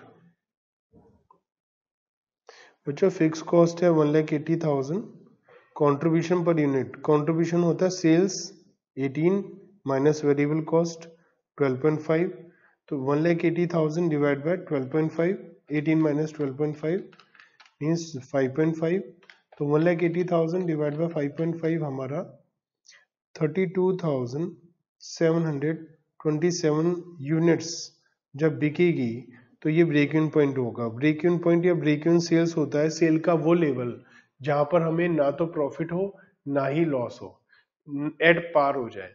इसके लिए अगर आपने अभी तक नहीं पढ़ा है तो मार्जिनल कॉस्टिंग पढ़ लीजिएगा। तो अब ब्रेक इन पॉइंट हमें कौन से क्वार्टर में आएगा? तो क्वार्टर वन की सेल कितनी है? Twelve thousand break in point तो नहीं आएगा। क्वार्टर टू की सेल कितनी है? Fifteen thousand twenty seven total अभी भी ब्रेक इन पॉइंट नहीं आएगा। और इसके बाद में हम बात करते हैं क्वार्टर थ्री की। क्वार्टर थ्री की सेल है सिक्सटीन थाउज़ेंड तो twenty seven thousand plus sixteen thousand forty three thousand तो हमारा ये लेवल अचीव हो जाएगा। तो हम कहेंगे क्वार्टर थ्री में ब्रेक इन पॉइंट आएगा। तो क्वेश्चन हमने किया बहुत बढ़िया, बेहतरीन, गजब का क्वेश्चन जिसके अंदर बहुत सारा काम करना था। मुझे तो बहुत मज़ा आया। उम्मीद है आप लोगों को भी खूब मज़ा आया होगा इसमें। चलिए, हमारे पास अब नेक्स्ट बजट है मटेरियल बजट हम लोगों ने सबसे पहले कौन सा बजट बनाया था बच्चों? जल्दी से बताइए। हाँ जी। बताओ, बोलो बोलो बोलो। सबसे पहले शाबाश सेल्स बजट अगर हमें पता चल गया हमारी कितनी सेल होनी है तो उसके बाद हम क्या करेंगे? सेल पता लग गया तो उसके हिसाब से हम क्या करेंगे? प्रोडक्शन और एक बार पता चल गया कितना प्रोडक्शन करना है तो फिर हमें पता चल जाएगा रो मटेरियल रिक्वायरमेंट कितनी है कंजम्पशन कितनी होनी है, फिर उसके हिसाब से रॉ मटेरियल परचेज बजट बनाएँगे। तो अब हम इस स्टेज पर आ गए हैं। मटेरियल बजट हमें एक बार पता चल गया प्रोडक्शन कितना करना है तो फिर हमें मटेरियल का भी पता चल जाएगा कि इतनी प्रोडक्शन करने के लिए कितना मटेरियल ज़रूरी है हमें जो चाहिए। तो ये जो बजट है, ये हमें बताएगा कितनी क्वांटिटी की ज़रूरत है हमें आउटपुट के लिहाज से। मेटेरियल बजट में मेटेरियल रिक्वायरमेंट बजट होता है। ये क्या होता है? Production multiply by raw material per unit एक यूनिट में जितना रॉ मटेरियल चाहिए उसे हम प्रोडक्शन आउटपुट से मल्टीप्लाई कर देंगे तो रॉ मटेरियल रिक्वायरमेंट बजट आ जाएगा। ये हमें बताता है कि कितनी रॉ मटेरियल की ज़रूरत है आउटपुट के लिए। तो हमारा जो रिक्वायरमेंट है पर यूनिट है एक बार हम निकाल लेंगे तो उसे मल्टीप्लाई कर देंगे आउटपुट से। तो हमें पता चल जाएगा कितना प्रोडक्शन के लिए चाहिए। और कॉस्ट निकालने के लिए ये यूनिट्स हो गई और इसको कॉस्ट पर यूनिट से मल्टीप्लाई करके रुपीज़ में आ जाएगा, कितना कॉस्टिंग आएगी। दूसरा है परचेज बजट जितना रॉ मटेरियल आपने प्रोडक्शन करना है कंज्यूम्ड करना है उतना ही थोड़ी ना खरीदोगे। जैसे हमने बात करी थी सेल जितना करना, उतना ही थोड़ी ना बनाएँगे। उससे ज़्यादा बनाएँगे, कम बनाएँगे। क्लोजिंग ओपनिंग स्टॉक के हिसाब से पता चलेगा। ऐसे ही मटेरियल परचेज उतना थोड़ी ना करेंगे कि जितना रॉ मटेरियल कंज्यूम्ड होना। है क्लोजिंग स्टॉक के लिए भी खरीदेंगे। लेकिन जो ओपनिंग स्टॉक है, वो तो नहीं खरीदना है। तो ये हिसाब वही है जो हमने पहले पढ़ा था। Production into raw material per unit तो हमारा रॉ मटेरियल कंज्यूम्ड आ जाएगा। लेकिन हम रॉ मटेरियल कंज्यूम्ड को नहीं खरीदेंगे क्योंकि हमें क्लोजिंग स्टॉक भी खरीदना है। क्लोजिंग स्टॉक किस चीज़ का? रॉ मटेरियल का। Minus opening stock of raw material तो ये बिल्कुल वैसे ही बजट बन गया जैसे प्रोडक्शन के लिए था। Usage plus closing stock minus opening stock तो ये हमारा बहुत ही आसान हो गया क्वेश्चन नंबर सेवन पर आते हैं। सेल्स मैने, डायरेक्टर हैं एफ़ लिमिटेड के। नेक्स्ट ईयर में उन्हें उम्मीद है फिफ्टी फोर थाउज़ेंड यूनिट बेचेंगे। तो सेल बजट दिया हुआ है। प्रोडक्शन मैनेजर को पता है two kind of raw material लगते हैं इसे बनाने के लिए। दो यूनिट ए की और तीन यूनिट बी की लगती हैं। हमें फिनिश्ड का और रॉ मटेरियल का हमें ओपनिंग क्लोजिंग दिया है। और हमें एक क्वांटिटेटिव चार्ट बनाना है मेटेरियल परचेज कितना करना है नेक्स्ट ईयर तो इसमें अब तक का सारा ज्ञान आपका उड़ेलना पड़ेगा, सारा ज्ञान इस्तेमाल करना पड़ेगा आप लोगों को। तो अब तो अब हमारी जान पहचान बहुत हो गई, बहुत समय से हम साथ में आप मुझे झेल रहे हैं, मैं तो आपको इतना नहीं झेल रहा, आप मुझे ज़्यादा झेल रहे हैं। तो थोड़ा सा अब आप मुझे समझ गए हैं कि कैसे काम कराता हूँ मैं। तो यहाँ पर सॉल्यूशन जब करने लगेंगे तो सबसे पहले सेल्स हमें दी हुई है। कितनी? 54,000 यूनिट्स मैं इसमें क्लोजिंग स्टॉक और फिनिश गुड्स ऐड कर दूँ? क्योंकि ये भी माल बनाना पड़ेगा मैं प्रोडक्शन बजट बना रहा हूँ। तो क्लोजिंग बैलेंस हमें बता रखा है फिनिश गुड्स का चौदह हज़ार है। तो इसको मतलब हमें सिक्सटी एट थाउज़ेंड की ज़रूरत है। लेकिन जो ओपनिंग स्टॉक होगा वो तो हमें नहीं बनाना पड़ेगा। तो opening stock of finish goods है टेन थाउज़ेंड इसका मतलब फिफ्टी एट थाउज़ेंड यूनिट्स हमारी प्रोडक्शन हो गई। तो पहला काम हमने ये कर लिया कि प्रोडक्शन बजट बना लिया और हमें ये पता चल गया कि फिफ्टी एट थाउज़ेंड यूनिट की प्रोडक्शन होनी है। अब अगला काम क्या करें? अगला काम हम ये करते हैं कि इसमें से ए और बी कितना ज़रूरी है रिक्वायरमेंट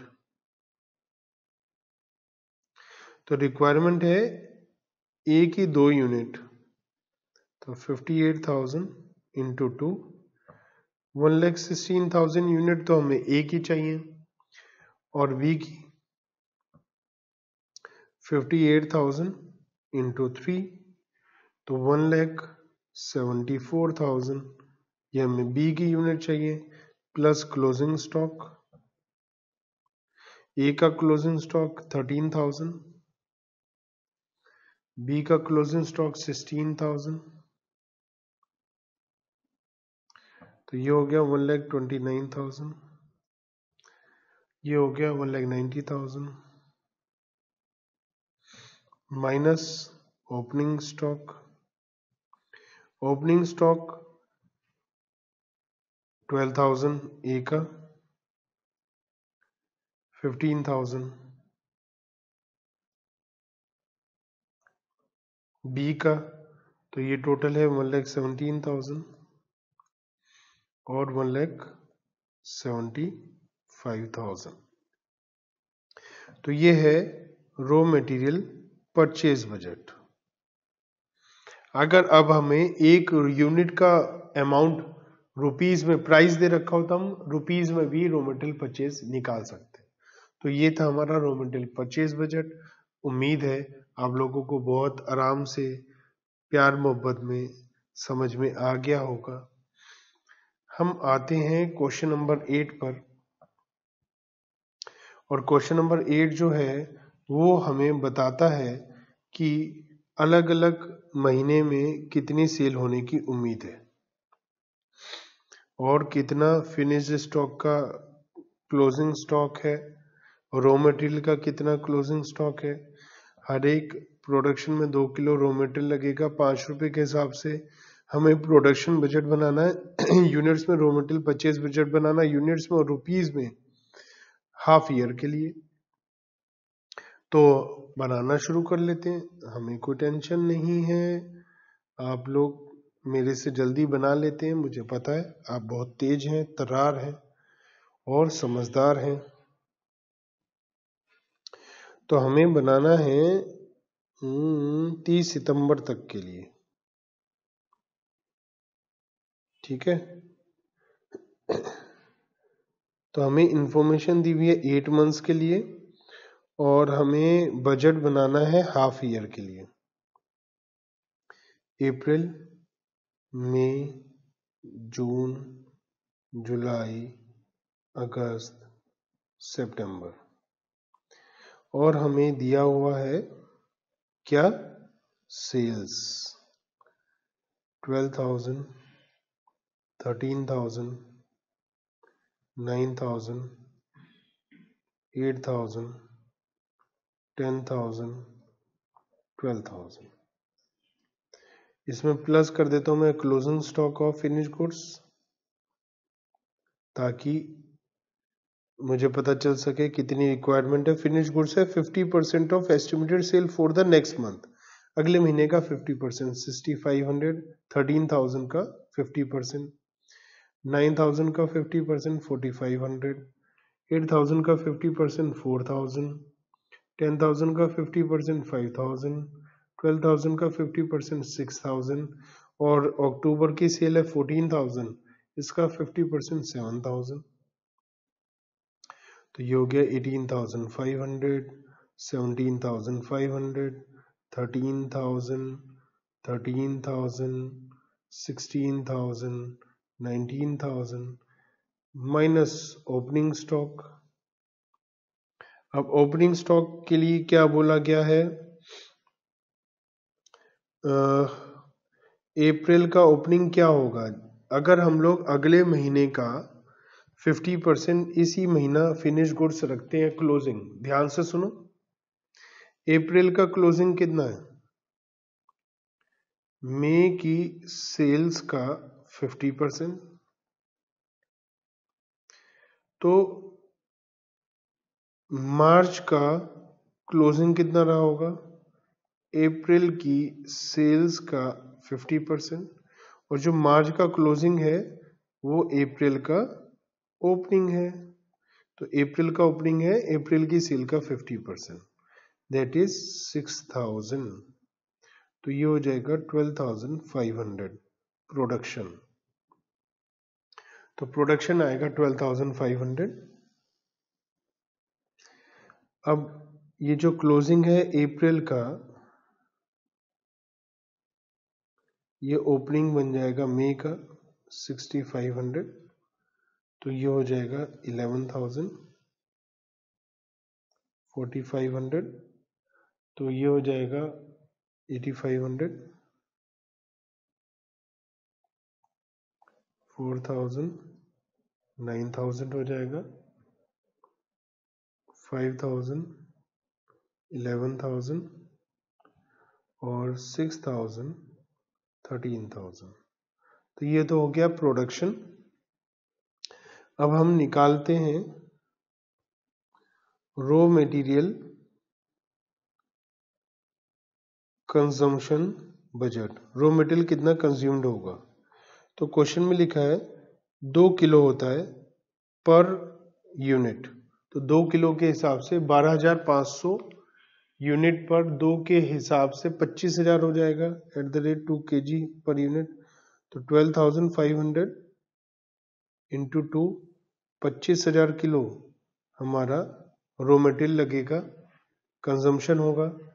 यहाँ पर बाईस हज़ार, यहाँ पर सत्रह हज़ार, यहाँ पर अठारह हज़ार, यहाँ पर बाईस हज़ार और यहाँ पर छब्बीस हज़ार। तो ये हमें ज़रूरत पड़ेगी रो मटेरियल को कंज्यूम करने की। Plus closing raw material closing कितना है? तो यहाँ लिखा है raw material estimated consumption for the next month next month की कंजम्पशन तो नेक्स्ट मंथ की कंजम्पशन है twenty two thousand seventeen thousand eighteen thousand twenty two thousand twenty six thousand अब अक्टूबर की कंजम्पशन कितनी है? ओहो तो हमें अक्टूबर की कंजम्पशन भी निकालनी पड़ेगी। तो अक्टूबर की सेल्स कितनी है? चौदह हज़ार। और अक्टूबर का क्लोजिंग स्टॉक कितना होगा? Fifty percent estimated sale of the next month इसका मतलब बारह हज़ार का फिफ्टी परसेंट छ हज़ार। बीस हज़ार। माइनस ओपनिंग ओपनिंग है सात हज़ार, तेरह हज़ार। तो तेरह हज़ार इंटू टू ट्वेंटी सिक्स तो क्लोजिंग स्टॉक है क्लोजिंग स्टॉक और रो मटेरियल है नेक्स्ट मंथ का कंजम्पशन मतलब ट्वेंटी सिक्स थाउज़ेंड तो ये हो जाएगा forty seven thousand minus opening raw material opening इस बार का जो भी अब यहाँ पर ध्यान देने वाली बात है कि हमारा अप्रैल में रो मेटेरियल स्टॉक है क्लोजिंग मे की कंजम्पशन तो इसका मतलब इस महीने का जो भी रो मेटेरियल ज़रूरत है वो पिछले महीने खरीद कर रख लिया होगा। तो ओपनिंग स्टॉक इसी महीने का जो कंजम्पशन है पच्चीस हज़ार। तो पच्चीस कितना करेंगे? तो forty seven thousand minus twenty five thousand तो ट्वेंटी टू थाउज़ेंड हम परचेज कर लेंगे। ऐसे यहाँ पर twenty two thousand plus seventeen thousand हमारे पास आ गया थर्टी नाइन थाउज़ेंड और ओपनिंग क्या होगा जो पिछली बार का क्लोजिंग है? बाईस हज़ार तो सेवनटीन थाउज़ेंड आ गया। अब यहाँ पर टोटल हो गया thirty five thousand minus seventeen thousand eighteen thousand तो ये हमारा बजट आता जा रहा है कितना परचेज हमने करना है। Total forty thousand minus opening which is closing of previous month eighteen so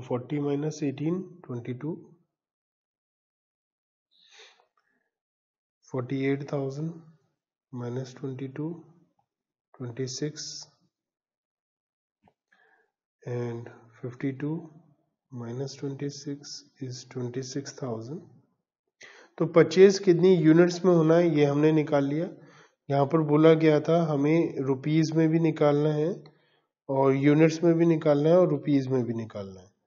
तो at the rate rupees five per K G है तो रो मटेरियल परचेज रुपीज़ में आ जाएगा।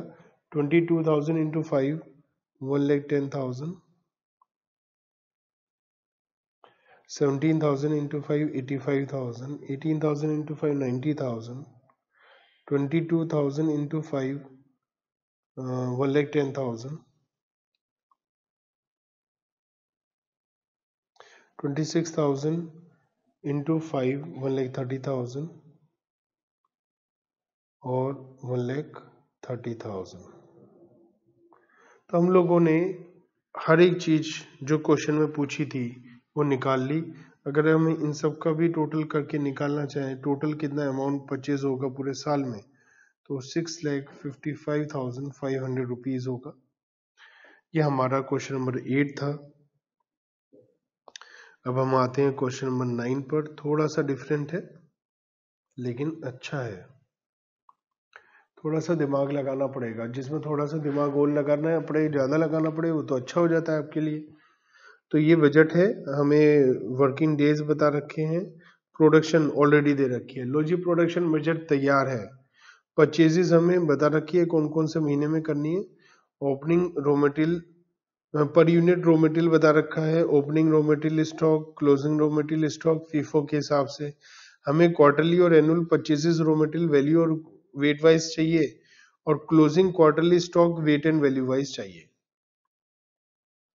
चलिए, आप वीडियो पॉज करके चाहें तो तसल्ली से क्वेश्चन को एक बार और पढ़ सकते हैं और आराम से पढ़ सकते हैं। अब हम क्वेश्चन करने के लिए तैयार हैं। क्वार्टर है हमारे पास।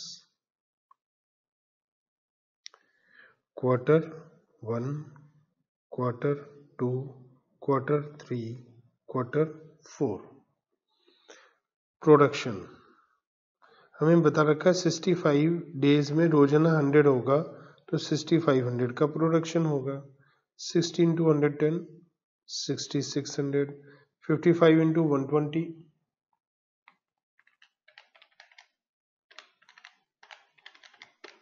sixty six hundred again fifty into one twenty six sixty three hundred. तो ये हमारी प्रोडक्शन आ गई कि कब कितनी प्रोडक्शन हमने करनी है, ठीक है? Total sixty five hundred, sixty six hundred, sixty six hundred, sixty three hundred. Twenty six thousand production करेंगे। तो हमें रो मटेरियल का चाहिए, ये प्रोडक्शन है। तो रो मटेरियल हमें चाहिए दो किलो के हिसाब से लग रहा है। तो यहाँ पर कितना लगेगा? तेरह हज़ार किलो, तेरह हज़ार दो सौ किलो, तेरह हज़ार दो सौ किलो, सिक्सटी थ्री हंड्रेड, बारह हज़ार छ सौ किलो और फिफ्टी टू थाउज़ेंड के जी और हमें पूछा है वैल्यू वाइज बताओ रेट है इसका। अच्छा ये रॉ मटेरियल रिक्वायरमेंट आ गया कि हमें टोटल पूरे साल में 52,000 किलोग्राम रॉ मटेरियल की रिक्वायरमेंट है। अब परचेज बजट बनाते हैं। Plus closing raw material stock closing stock raw material है 2000 kilo. Minus opening raw material 4000 kilo. तो इसका मतलब हमें फिफ्टी थाउज़ेंड के जी पूरे साल में परचेज करना है। परचेज बजट आ गया फिफ्टी थाउज़ेंड के जी अब हमें ये भी पता चल चुका है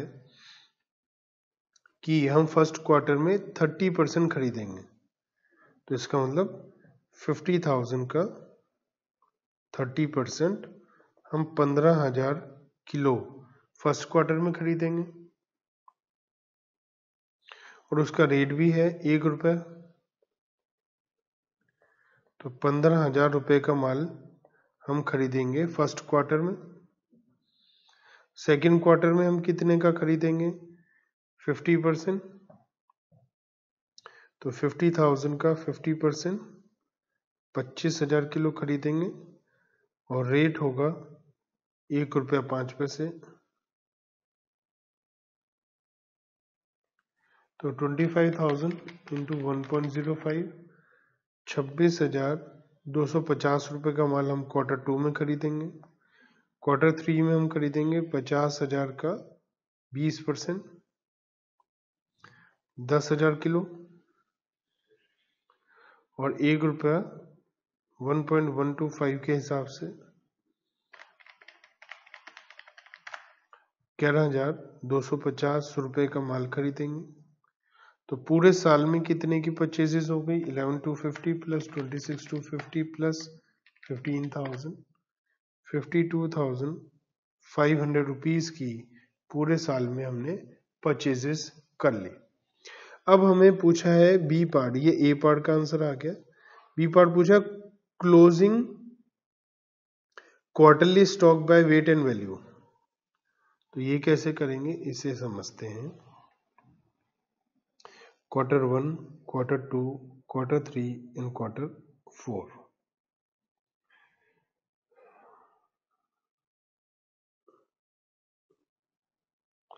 इसमें हमें units amount units amount units amount और यूनिट्स और अमाउंट यूज़ करना है।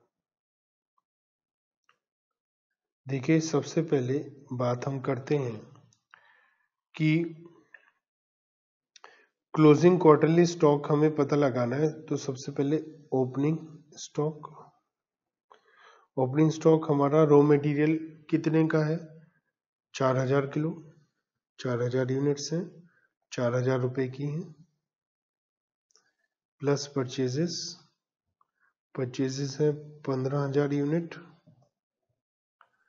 पंद्रह हज़ार रुपए की। तो इसका मतलब उन्नीस हज़ार यूनिट उन्नीस हज़ार रुपए की हो गई। Minus consumption. तो पहली बार जो पहले महीना हमने कंजम्पशन करना है, वो तेरह हज़ार किलो करना है। तो वो एक रुपए के हिसाब से तेरह हज़ार रुपए का ही आएगा।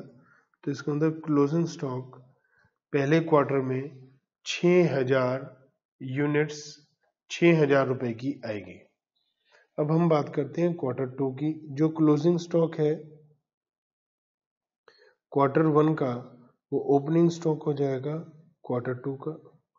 परचेजेस पच्चीस हज़ार किलो, छब्बीस हज़ार दो सौ पचास रुपये का। तो हमारे पास thirty one thousand units available हैं। Thirty two thousand two fifty की। अब कंजम्पशन हो रही है। कंजम्पशन होती है FIFO first in first out तो यहाँ पर कंजम्पशन कैसे होगी? हमारी जो कंजम्पशन है, तेरह हज़ार दो सौ किलो है। उसमें से छ हज़ार छ हज़ार वाली छ हज़ार एक रुपए के हिसाब से छ हज़ार की और जो कंजम्पशन है वो तेरह हज़ार दो सौ है। तो सात हज़ार दो सौ किलो,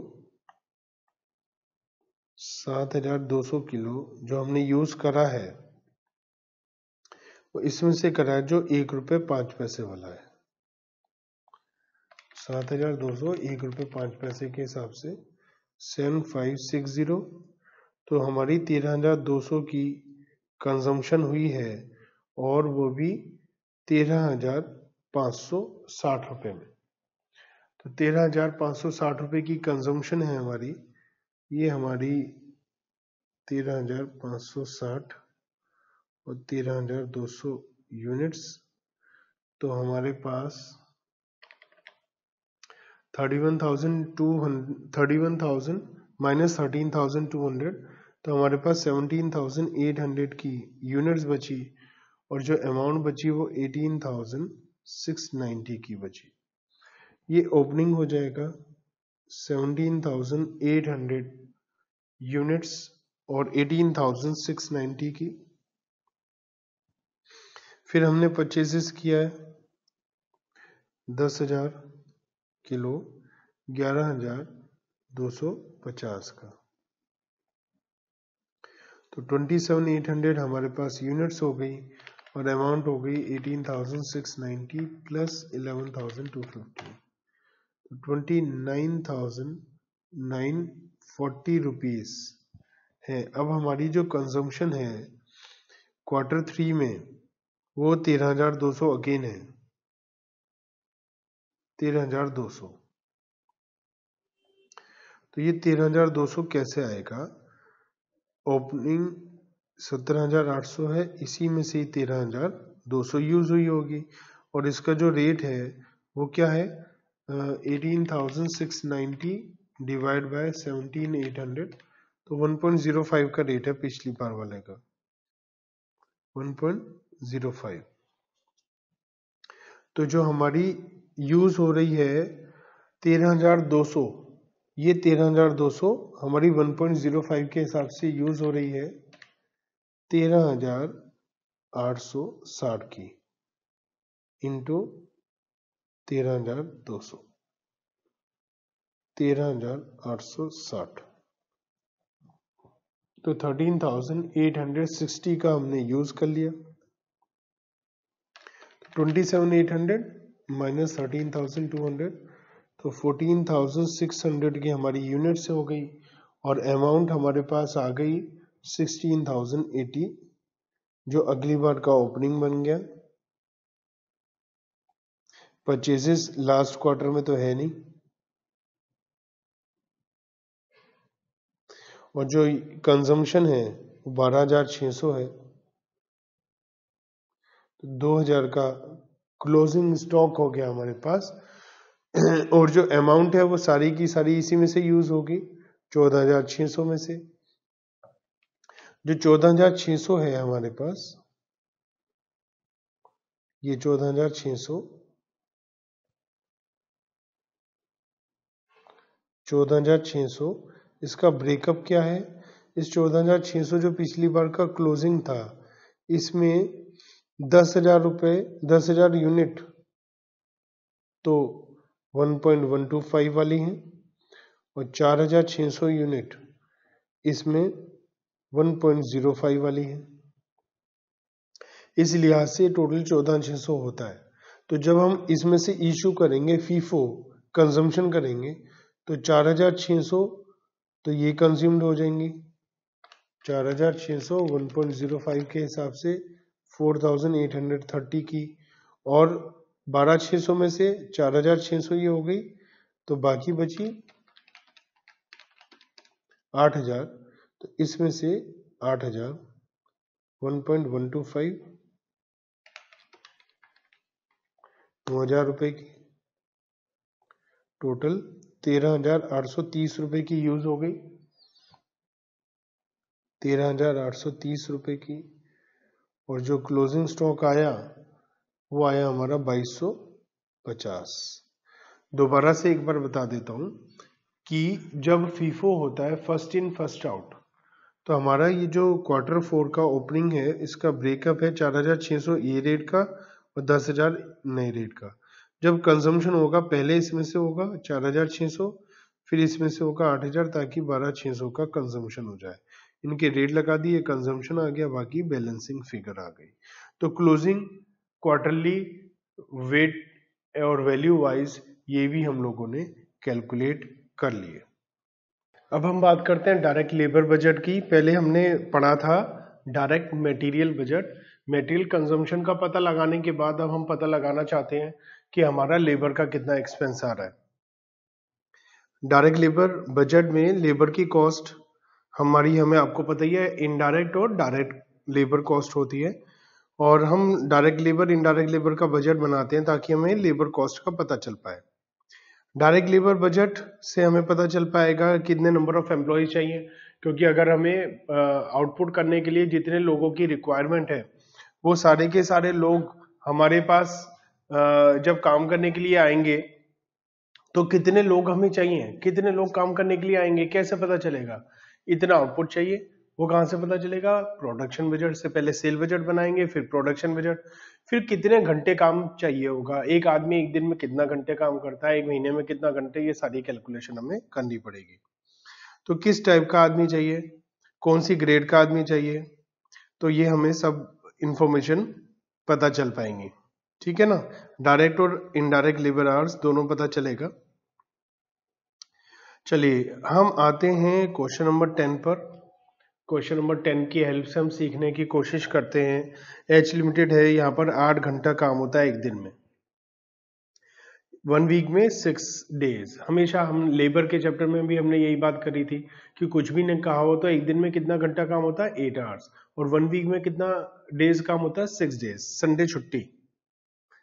आप अब ये मत सोचो, सर, हमारी तो छुट्टी नहीं होती संडे की। तो संडे छुट्टी हो जाती है आपकी, आप बीच में भी छुट्टी मार लेते हो। जो बजट पीरियड है, ये वन ईयर का है और हर क्वार्टर में कुछ घंटे खराब हो जाते हैं। छुट्टी की वजह से आप भी तो छुट्टी मारते हो हॉलीडेज भी लेते हो, कोई और रीजन भी होते हैं। तो क्वार्टर बेसिस पर 124 फोर आवर्स हमारे बेकार हो जाते हैं। डायरेक्ट लेबर पर यूनिट हमारे पास दो डिपार्टमेंट है पी और क्यू और दो प्रोडक्ट हैं ए और बी और वहाँ पर कितना कितना घंटे क्या क्या रेट है, ये सब बता रखा है। यूनिट जो हमें प्रोडक्शन बजट के हिसाब से बनानी है, वो भी बता रखी है। Prepare man power budget showing direct labour hours कितने घंटे काम होगा नंबर ऑफ़ वर्कर्स कितने वर्कर की ज़रूरत पड़ेगी man power budget showing labour cost और कॉस्ट मतलब हमें सब कुछ पता लगाना है क्या क्या होगा। चलिए बनाते हैं, क्या टेंशन है। आप तो बहुत समझदार बच्चे हैं, यूँ ही बना देंगे इसे। साथ साथ बनाना मूड है तो बना लो, नहीं तो बाद में करना पड़ेगा। हाँ तो बच्चों, हमसे पूछा जा रहा है मैन पावर बजट बनाओ डायरेक्ट लेबर आवर्स बताओ नंबर ऑफ़ वर्कर्स कितने चाहिए? तो बच्चों, हमें, आप मुझे बताओ वर्कर प्रोडक्ट प्रोडक्ट ए या बी के हिसाब से चाहिए या वर्कर डिपार्टमेंट के हिसाब से चाहिए? तो मुझे पक्का यकीन है आपका जवाब होगा कि जो वर्कर है वो डिपार्टमेंट में काम करते हैं तो डिपार्टमेंट वाइज वर्कर की रिक्वायरमेंट है। तो डिपार्टमेंट पी और डिपार्टमेंट क्यू दोनों डिपार्टमेंट में हम देखते हैं कितने वर्कर की रिक्वायरमेंट है। प्रोडक्ट ए तो A product department P product A एक यूनिट दो घंटा में एक यूनिट बनती है। और हमें यूनिट बनानी कितनी है? Ten thousand. तो हमें ten thousand divide by two, इसका मतलब दो घंटे में एक यूनिट बनती है। सॉरी, दो घंटे में एक यूनिट बनती है। तो हमें दस हज़ार यूनिट के लिए ट्वेंटी थाउज़ेंड आवर्स की ज़रूरत पड़ेगी। अब हम बात करते हैं बी डिपार्टमेंट बी प्रोडक्ट की। एक घंटे में एक यूनिट तो टेन थाउज़ेंड यूनिट्स के लिए फोर थाउज़ेंड यूनिट्स के लिए, क्योंकि फोर थाउज़ेंड है फोर थाउज़ेंड यूनिट्स के लिए एक घंटे में हमें फोर थाउज़ेंड आवर्स की ज़रूरत पड़ेगी। एक बार फिर से, गड़बड़ हो गया मुझे बताते हुए, दोबारा से बताता हूँ। देखो बच्चों प्रोडक्ट ए, डिपार्टमेंट पी। एक यूनिट के लिए दो घंटा चाहिए। Department P, product A ten thousand units हमें बनानी है और एक यूनिट में दो घंटा लगता है तो हमें टोटल बीस हज़ार घंटे की ज़रूरत पड़ेगी। उसके बाद अगला बात करते हैं। हमारे पास प्रोडक्ट बी है जिसकी चार हज़ार यूनिट बनानी है। तो चार हज़ार यूनिट बनानी है और एक यूनिट को बनाने में प्रोडक्ट बी की एक यूनिट को बनाने में डिपार्टमेंट पी में एक घंटा लगता है। तो चार हज़ार घंटे की ज़रूरत है। तो डिपार्टमेंट पी में हमें ट्वेंटी फोर थाउज़ेंड आवर्स की ज़रूरत है। अब हम डिपार्टमेंट क्यू की बात करते हैं।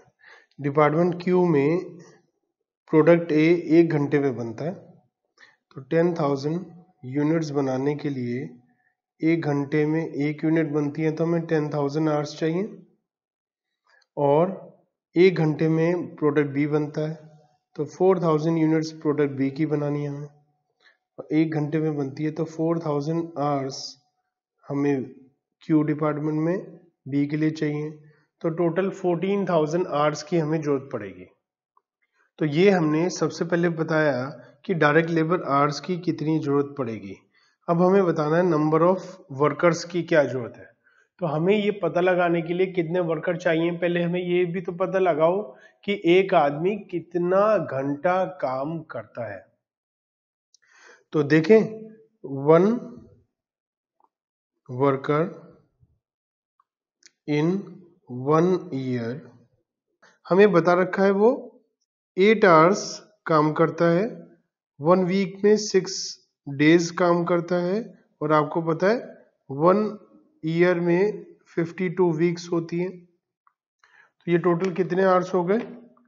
Eight into six into fifty two two four nine six hours हो गए हमारे। कुछ वेस्ट हो जाते हैं लीव की वजह से और हॉलीडेज की वजह से अदर कोर्सेज की वजह से लीव हॉलीडेज और ये होते हैं 124 ट्वेंटी आवर्स फोर क्वार्टर हैं साल में। हर क्वार्टर में 124 ट्वेंटी आवर्स खराब हो जाते हैं। तो ईयर में फोर क्वार्टर होते हैं क्योंकि एक quarter means one by four of one fourth part of one year three months तो फोर क्वार्टर वन ईयर में वन क्वार्टर में 124 ट्वेंटी आवर्स तो फोर क्वार्टर में 496 आवर्स वेस्ट हो जाएँगे। इसका मतलब एक वर्कर वन ईयर में 2000 आवर्स काम करेगा। एक वर्कर वन ईयर में कितना काम करेगा? 2000 आवर्स। तो हम ऑलरेडी कैलकुलेट कर चुके हैं डिपार्टमेंट पी में वन ईयर में 24,000 आवर्स की रिक्वायरमेंट है और वन वर्कर 2000 आवर्स काम करेगा। तो कितने वर्कर चाहिए आपको डिपार्टमेंट पी में? Number of workers 24,000 divide by 2000 इसका मतलब 12 वर्कर्स की रिक्वायरमेंट है डिपार्टमेंट पी में। और डिपार्टमेंट क्यू में कितने वर्कर चाहिए? Four thousand fourteen thousand hours divide by two thousand hours equal to seven workers तो सात वर्कर चाहिए हमें डिपार्टमेंट क्यू में। तो ये तो हमारा फ़र्स्ट पार्ट कंप्लीट हो गया, जो हमसे पूछा जा रहा था कि आप क्या पता लगाइए। आप बताइए कि कितने आर्स की रिक्वायरमेंट है और कितने वर्कर की रिक्वायरमेंट है। दूसरा हमसे पूछा जा रहा है, लेबर कॉस्ट बताइए। तो बी पार्ट में ये ए पार्ट का आंसर था। बी पार्ट का आंसर निकाल लेते हैं, कैलकुलेट कर लेते हैं। कितनी कॉस्ट लगेगी? तो डिपार्टमेंट पी में और क्यू में कितनी कॉस्ट लगेगी? प्रोडक्ट ए के लिए। हमें पता है ट्वेंटी थाउज़ेंड आवर्स की रिक्वायरमेंट है और एक घंटा यहाँ पर एक रुपए का है। तो ट्वेंटी थाउज़ेंड रुपीज़ तो ये हो गए। उसके बाद डिपार्टमेंट पी और प्रोडक्ट बी। ये दो रु, दो रुपए के हिसाब से four thousand hours. Two rupees के हिसाब से। एट थाउज़ेंड तो total twenty eight thousand rupees का expense product production department P में हो जाएगा। अब क्यू की बात करते हैं। क्यू में हमारे पास प्रोडक्ट ए के लिए टेन थाउज़ेंड आवर्स की रिक्वायरमेंट है और एक एक प्रोडक्ट एक आर वन आर का तीन रुपए का खर्चा है। डिपार्टमेंट क्यू में प्रोडक्ट ए के लिए तीन रुपए। थर्टी थाउज़ेंड रुपीज़ और तीन रुपए का ही है क्यू में प्रोडक्ट बी के लिए, जो हमने निकाला था फोर थाउज़ेंड आवर्स तो four thousand hours into three rupees twelve thousand total forty two thousand तो दूसरा काम ये हो गया कि total forty two thousand rupees का एक्सपेंस हो गया डिपार्टमेंट क्यू में और डिपार्टमेंट पी में हो गया कितने का? ट्वेंटी एट थाउज़ेंड रुपीज़ का। अगर हमें प्रोडक्ट वाइज चाहिए तो प्रोडक्ट ए को बनाने में twenty plus thirty fifty thousand rupees का एक्सपेंस आएगा। यहाँ जगह नहीं है टोटल की, इसलिए मैं यहाँ साइड में नीचे लिख रहा हूँ। और बी को बनाने में eight plus twelve twenty thousand rupees का एक्सपेंस आएगा। Total expense seventy thousand rupees का होगा। तो जो बजट बनेगा हमारा labour budget seventy thousand rupees एक साल का एक्सपेंस होगा, जिसमें डिपार्टमेंट पी में twenty eight thousand department Q में फोर्टी टू थाउज़ेंड और total seventy breakup product wise तो प्रोडक्ट ए में फिफ्टी और प्रोडक्ट बी में ट्वेंटी थाउज़ेंड रुपीज़ का एक्सपेंस होगा। चलिए हम आते हैं क्वेश्चन नंबर इलेवन में और ये क्वेश्चन बहुत अच्छा है जिसके अंदर अब तक का सारा काम इसमें आ जाएगा, जितना भी अभी तक हमने स्टडी किया है।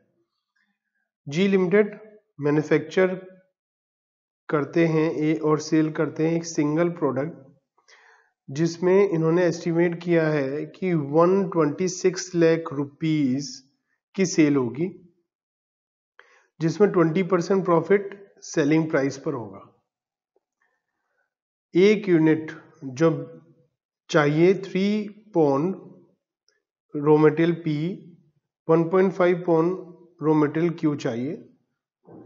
और साथ ही साथ सात घंटा मशीनिंग शॉप में और ढाई घंटा असेंबली सेक्शन में चाहिए। जो ओवरहेड हम लेते हैं वो 33.33 परसेंट लेबर पे लेते हैं। फैक्ट्री पाँच दिन काम करती है एक हफ़्ता में 52 वीक में। और ऑन एन एवरेज जो इनकी छुट्टी वगैरह होती है वो 96, 80 और 64 आवर्स एक साल में होती हैं। ये हॉलीडे स्टेचुरी लीव वगैरह है। अलग से कुछ डिटेल्स हैं जैसे पी का परचेज प्राइस क्या है क्यू का कितना है मशीन शॉप में लेबर क्या है असेंबली में लेबर क्या है। हमारे पास एम्प्लॉयज़ कितने हैं? ओपनिंग क्लोजिंग स्टॉक कितना है? फिनिश गुड्स रॉ मटेरियल का। You are required to calculate the number of units of the product proposed to be sold. कितनी यूनिट हमने इस साल में बेचनी है? परचेजेस कितनी करनी है? रॉ मटेरियल पी और क्यू की। और कितना मशीन शॉप और असेंबली सेक्शन में हमारा कैपेसिटी यूज़ होगी? कमेंट करना है। अब क्वेश्चन में पूछा तो हमसे सब कुछ है, जितना अभी तक हम जानकारी रखते हैं। तो एक एक करके हम निपटाते हैं एक एक पॉइंट को। सबसे पहले हमसे जो पूछा गया है, उसकी बात कर लेते हैं। और सबसे पहले हमसे क्या पूछा गया है बच्चों? Number of units of the product propose to be sold मतलब कि हमने कितनी यूनिट बेचने के लिए बात करी है। हमें पता है टोटल साल में सेल्स कितनी सोची है हमने। सेल्स हमने सोची है 126 लैख मतलब एक करोड़ छब्बीस लाख रुपए की सेल हमने सोची है। इसमें से प्रॉफिट अगर हम हटा दें तो कॉस्ट आ जाएगी। प्रॉफिट कितना सोचा है? 20 percent profit on selling price तो 20 परसेंट प्रॉफिट अगर हम सेलिंग प्राइस का हटा दें तो ये twenty five lakh twenty thousand हो जाता है। तो अगर हम ये हटा दें एक बार कि कितना हमें प्रॉफिट चाहिए तो बचा हुआ हमारी कॉस्ट आ जाएगी। एक करोड़ अस्सी हज़ार रुपये ये हमारी टोटल कॉस्ट आ जाएगी। ठीक है? तो कॉस्ट आ गई हमारी एक करोड़। ये एक करोड़ छब्बीस लाख में से पच्चीस लाख बीस हज़ार लेस कर दिया। एक करोड़ अस्सी हज़ार रुपए की टोटल कॉस्ट आ गई। अब अगर हम एक यूनिट की कॉस्ट निकाल लें किसी तरीके से तो हमें नंबर ऑफ़ यूनिट पता चल जाएँगी, जो हमसे ए पॉइंट में पूछा है। तो एक यूनिट की कॉस्ट निकालें, देखते हैं। कॉस्ट पर यूनिट कैसे निकलेगी? सबसे पहले इसमें मटेरियल का एक्सपेंस होगा। मटेरियल के लिए बोला है कि एक यूनिट के लिए थ्री पॉइंट पी चाहिए। मटेरियल पी थ्री पॉइंट चाहिए और एक पौंड रो मटेरियल पी आता छह रुपए का। तो थ्री पौन छह रुपए के हिसाब से अठारह रुपए के हो गए। क्यू चार रुपए है पर पौन और हमें चाहिए मटेरियल 1.5 यूनिट्स, एलबीएस मतलब पौन और प्राइस है चार रुपए। तो ये छह रुपए हो गया। तो चौबीस रुपए पर यूनिट का तो मटेरियल का एक्सपेंस हो गया। अब हम बात करते हैं लेबर की। लेबर हमें चाहिए सात घंटा मशीन शॉप में।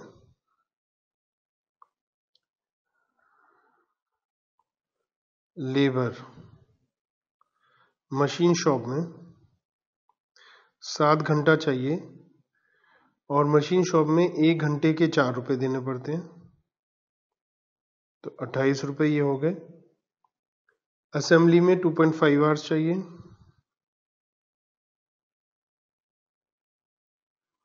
Two point five hours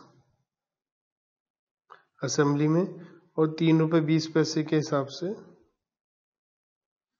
तो 2.5 point five into three point two तो आठ रुपये हमें तो टोटल थर्टी सिक्स रुपीज़ हमें लेबर के चाहिए। ओवरहेड के लिए हमें क्या बोला जा रहा है? ओवरहेड ओवरहेड है वन बाय थ्री मतलब thirty three point three three percent of labour तो ट्वेल्व रुपीज़ हमारे ओवरहेड हो जाएँगे। तो टोटल सेवेंटी टू रुपीज़ की कॉस्ट आ जाएगी। एक यूनिट की कॉस्ट सेवेंटी टू रुपीज़ आ गई। तो हमसे पूछा जा रहा है number of units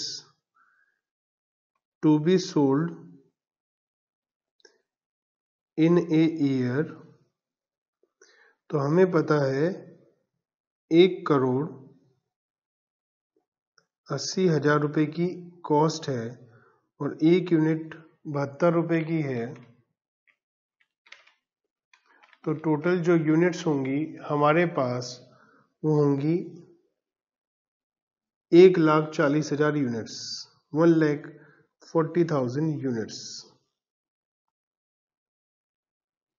तो one lakh forty thousand units हमारी एक साल में बिकेंगी।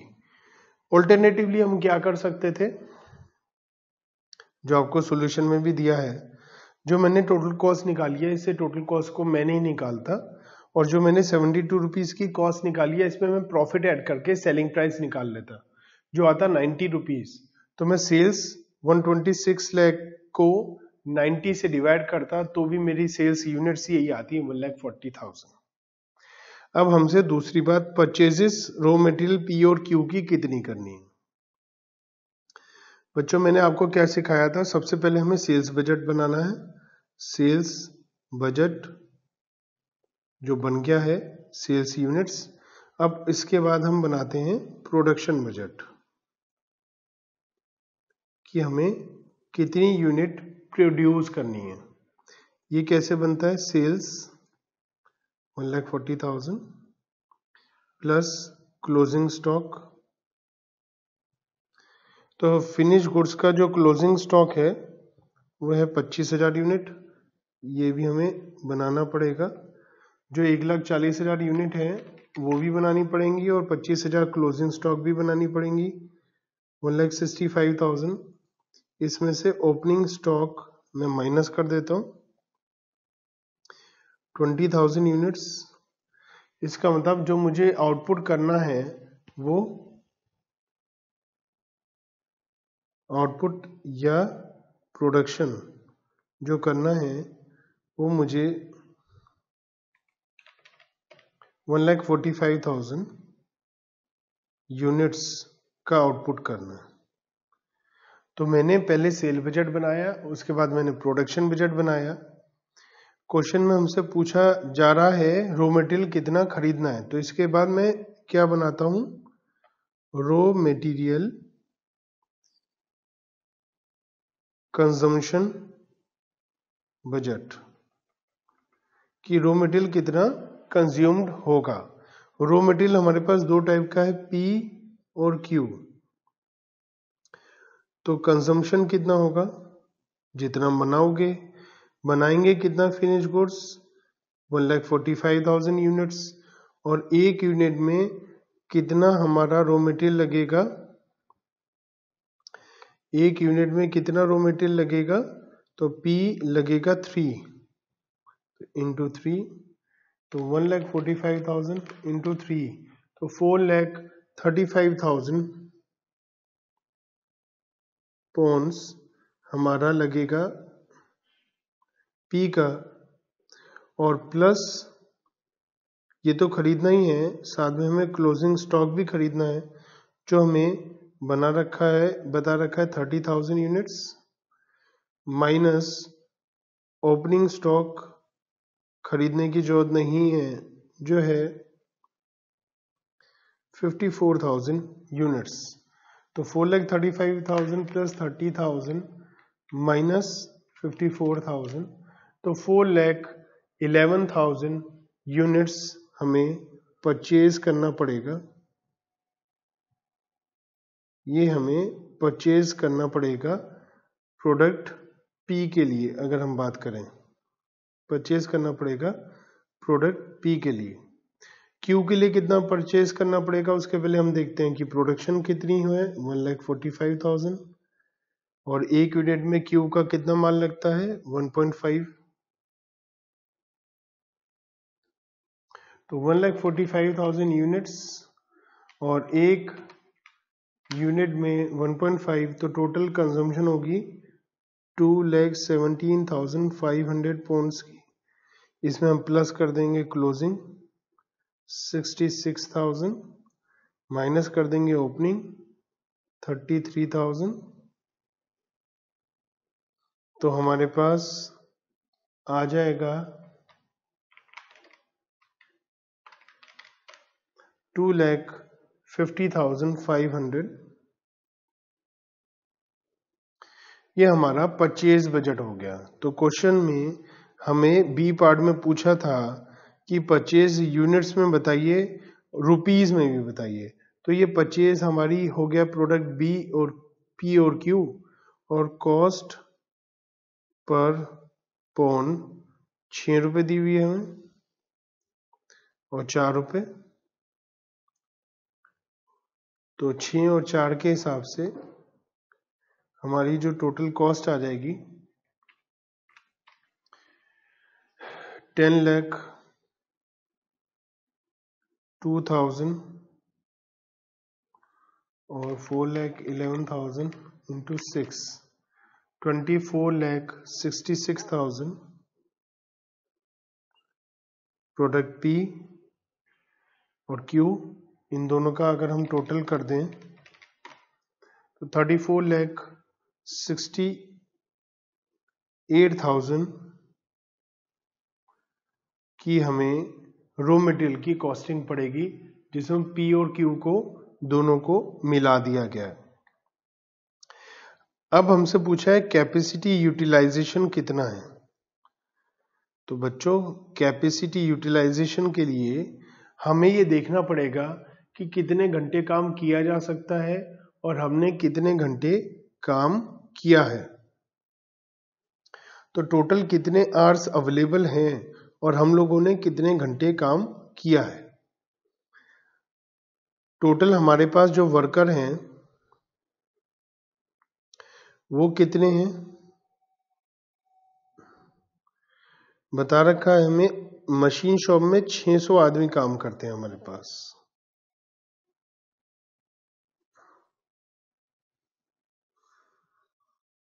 मशीन में और असेंबली में। टोटल कैपेसिटी कितनी है? तो एक आदमी कितना काम कर सकता है एक साल में? हमें बता रखा है कि वन वीक में फाइव डेज़ वन डे में एट आवर्स वन डे में एट आवर्स ऐसा फिफ्टी टू वीक्स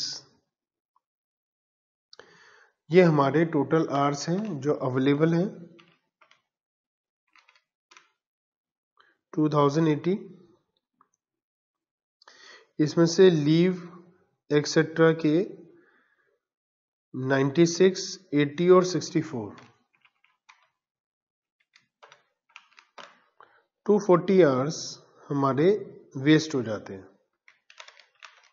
तो टोटल एटीन फोर्टी आवर्स हमारे काम में आते हैं। तो एटीन फोर्टी आवर्स एक आदमी एक साल में काम करता है। तो मशीन में एक साल में एक आदमी एटीन फोर्टी आवर्स काम करता है और आदमी है छः सौ।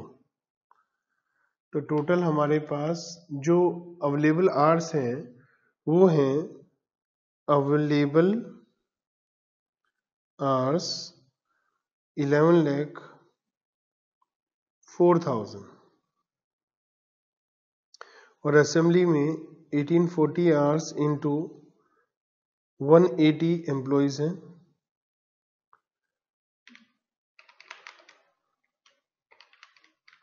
तो three lakh thirty one thousand two hundred hours हमारे पास अवेलेबल हैं असेंबली में।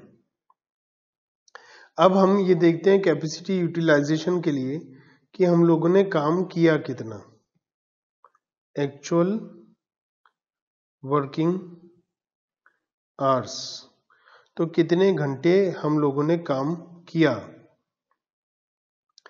हमने जो यूनिट बनाई है मशीन में मशीन शॉप में मशीनिंग में हमें बता रखा था, हमने कैलकुलेशन करी।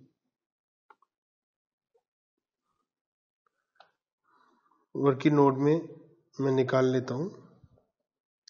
मशीन शॉप में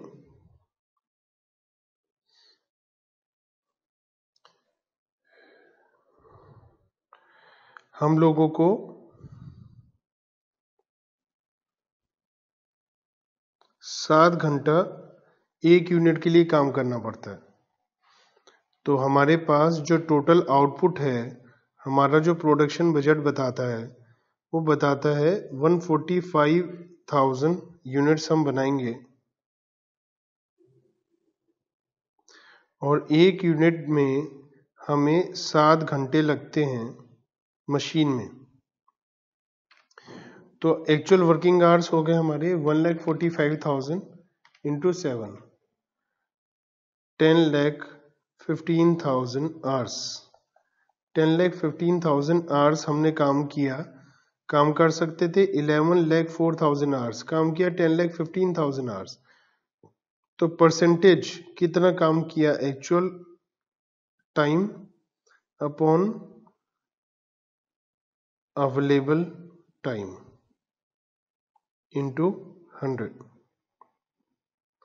तो हम लोगों ने कितने परसेंट काम किया, कितने परसेंट हमने कैपेसिटी को यूज़ करा तो ये आ जाएगा ten lakh fifteen thousand divide by eleven lakh four thousand into hundred. तो हम लोगों ने 91.94 परसेंट काम किया मशीन में। इसी तरीके से हम लोग एक्चुअल वर्किंग टाइम असेंबली का देखते हैं तो हमारा जो आउटपुट है वो तो यही है one lakh forty five thousand units और एक यूनिट में टू पॉइंट फाइव आवर्स लगते हैं। तो one lakh forty five thousand units into two point five तो हमने three sixty two five hundred जितना टाइम अवेलेबल था, उससे ज़्यादा का काम हमने कर डाला। तो एक्चुअल टाइम हमारा ज़्यादा हो गया अवेलेबल से एक्स्ट्रा काम कर दिया हमने 109.45 परसेंट हम लोगों ने कैपेसिटी को यूज़ करा है। तो हमसे बहुत सारी बातें इस क्वेश्चन में पूछी गई थी। आप लोगों को बहुत ध्यान से इसको समझना है। अगर अच्छे से समझ में नहीं आया तो इस क्वेश्चन को एक बार फिर से समझिए। फिर से वीडियो को देखिए, अपने हाथ से क्वेश्चन को सॉल्व करिए। जब तक इसको एक दो बार क्वेश्चन को सॉल्व नहीं करेंगे, आपको बहुत अच्छे से समझ में नहीं आएगा। क्वेश्चन में थोड़ी इंफॉर्मेशन ज़्यादा थी। हमारा नेक्स्ट बजट है selling and distribution overhead budget इसके अंदर हम सेलिंग एक्सपेंसेस को देखेंगे। ये जो बजट है, ये हमें एक्सपेंसेस के लिए बताता है कि सेलिंग एक्सपेंसेस कितने हमारे लगेंगे? तो ये सेल बजट के हिसाब से हम बना लेंगे। क्वेश्चन नंबर ट्वेल्व में हमें बता रखा है कि सेल्स बजट बनाइए और हमें एक्सपेंसेस बता रखे हैं। कितने कितने एक्सपेंस होने की उम्मीद है। कमीशन कितना देंगे? ट्रेवल सेल को कितना कमीशन देंगे? एक्सपेंसेस कितने होंगे? और सेल कितनी होने की उम्मीद है। तो हमें सेल्स ओवरहेड बजट बनाना है।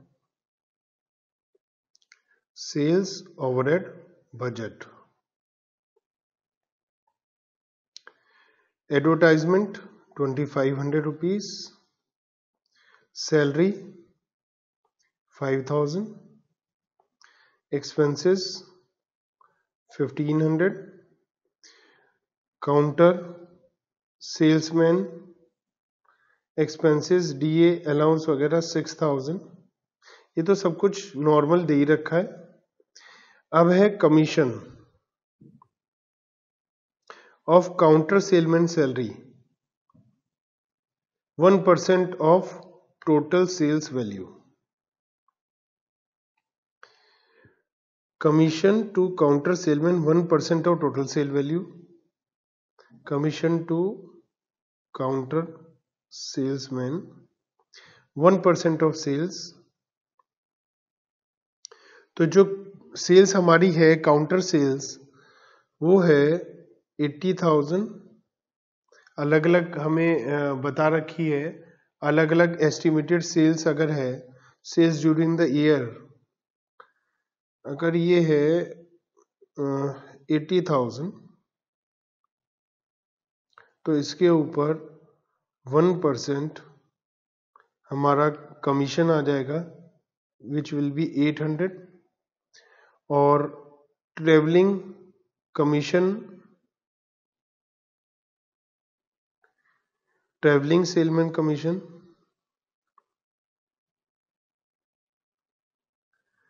ये आ जाएगा टेन परसेंट ऑफ़ सेल्स जो इसकी सेल है, वो है टेन परसेंट टेन थाउज़ेंड का टेन थाउज़ेंड का ten percent one thousand expenses हैं five percent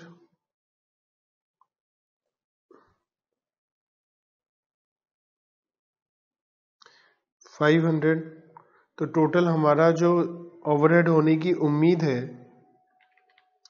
twenty five hundred five thousand fifteen hundred six thousand ये तो हमें हर एक सिचुएशन में दिया ही है।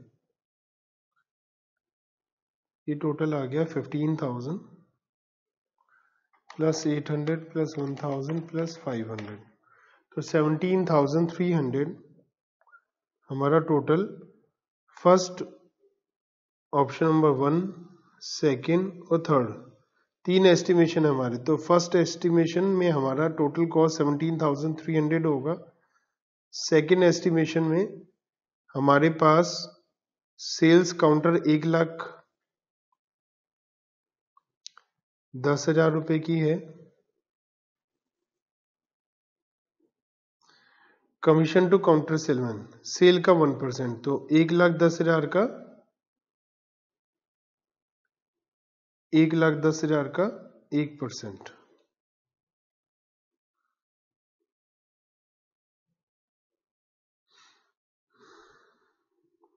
ये हो जाएगा ग्यारह सौ। और टेन परसेंट ट्रेवलिंग सेलमैन पंद्रह हज़ार का। टेन परसेंट पंद्रह सौ तो पंद्रह हज़ार का। पाँच परसेंट साढ़े सात सौ। तो पंद्रह हज़ार प्लस ग्यारह सौ प्लस पंद्रह सौ प्लस सात सौ पचास। तो अठारह हज़ार तीन सौ पचास रुपये होने की उम्मीद है सेकंड सिचुएशन में। अब हम थर्ड सिचुएशन की बात करते हैं। थर्ड सिचुएशन में हमारी काउंटर सेल हो सकती है एक लाख चालीस हज़ार। तो टोटल कॉस्ट पंद्रह हज़ार तो ये आएगी आएगी। अब काउंटर सेल एक लाख चालीस हज़ार है। इसका वन परसेंट चौदह सौ। और जो सेलमैन की सेल है बीस हज़ार, उसका दस परसेंट दो हज़ार और बीस हज़ार का पाँच परसेंट, एक हज़ार। और टोटल हमारी जो कॉस्ट होने की उम्मीद है, वो है नाइनटीन थाउज़ेंड फोर हंड्रेड। तो बच्चों, हम लोगों ने तीन तरीके से अलग अलग लेवल पर कैलकुलेट किया कि कितना सेल्स ओवरहेड होने की उम्मीद है। तो हमने क्वेश्चन नंबर ट्वेल्व में सेल्स ओवरहेड बजट बनाना सीखा।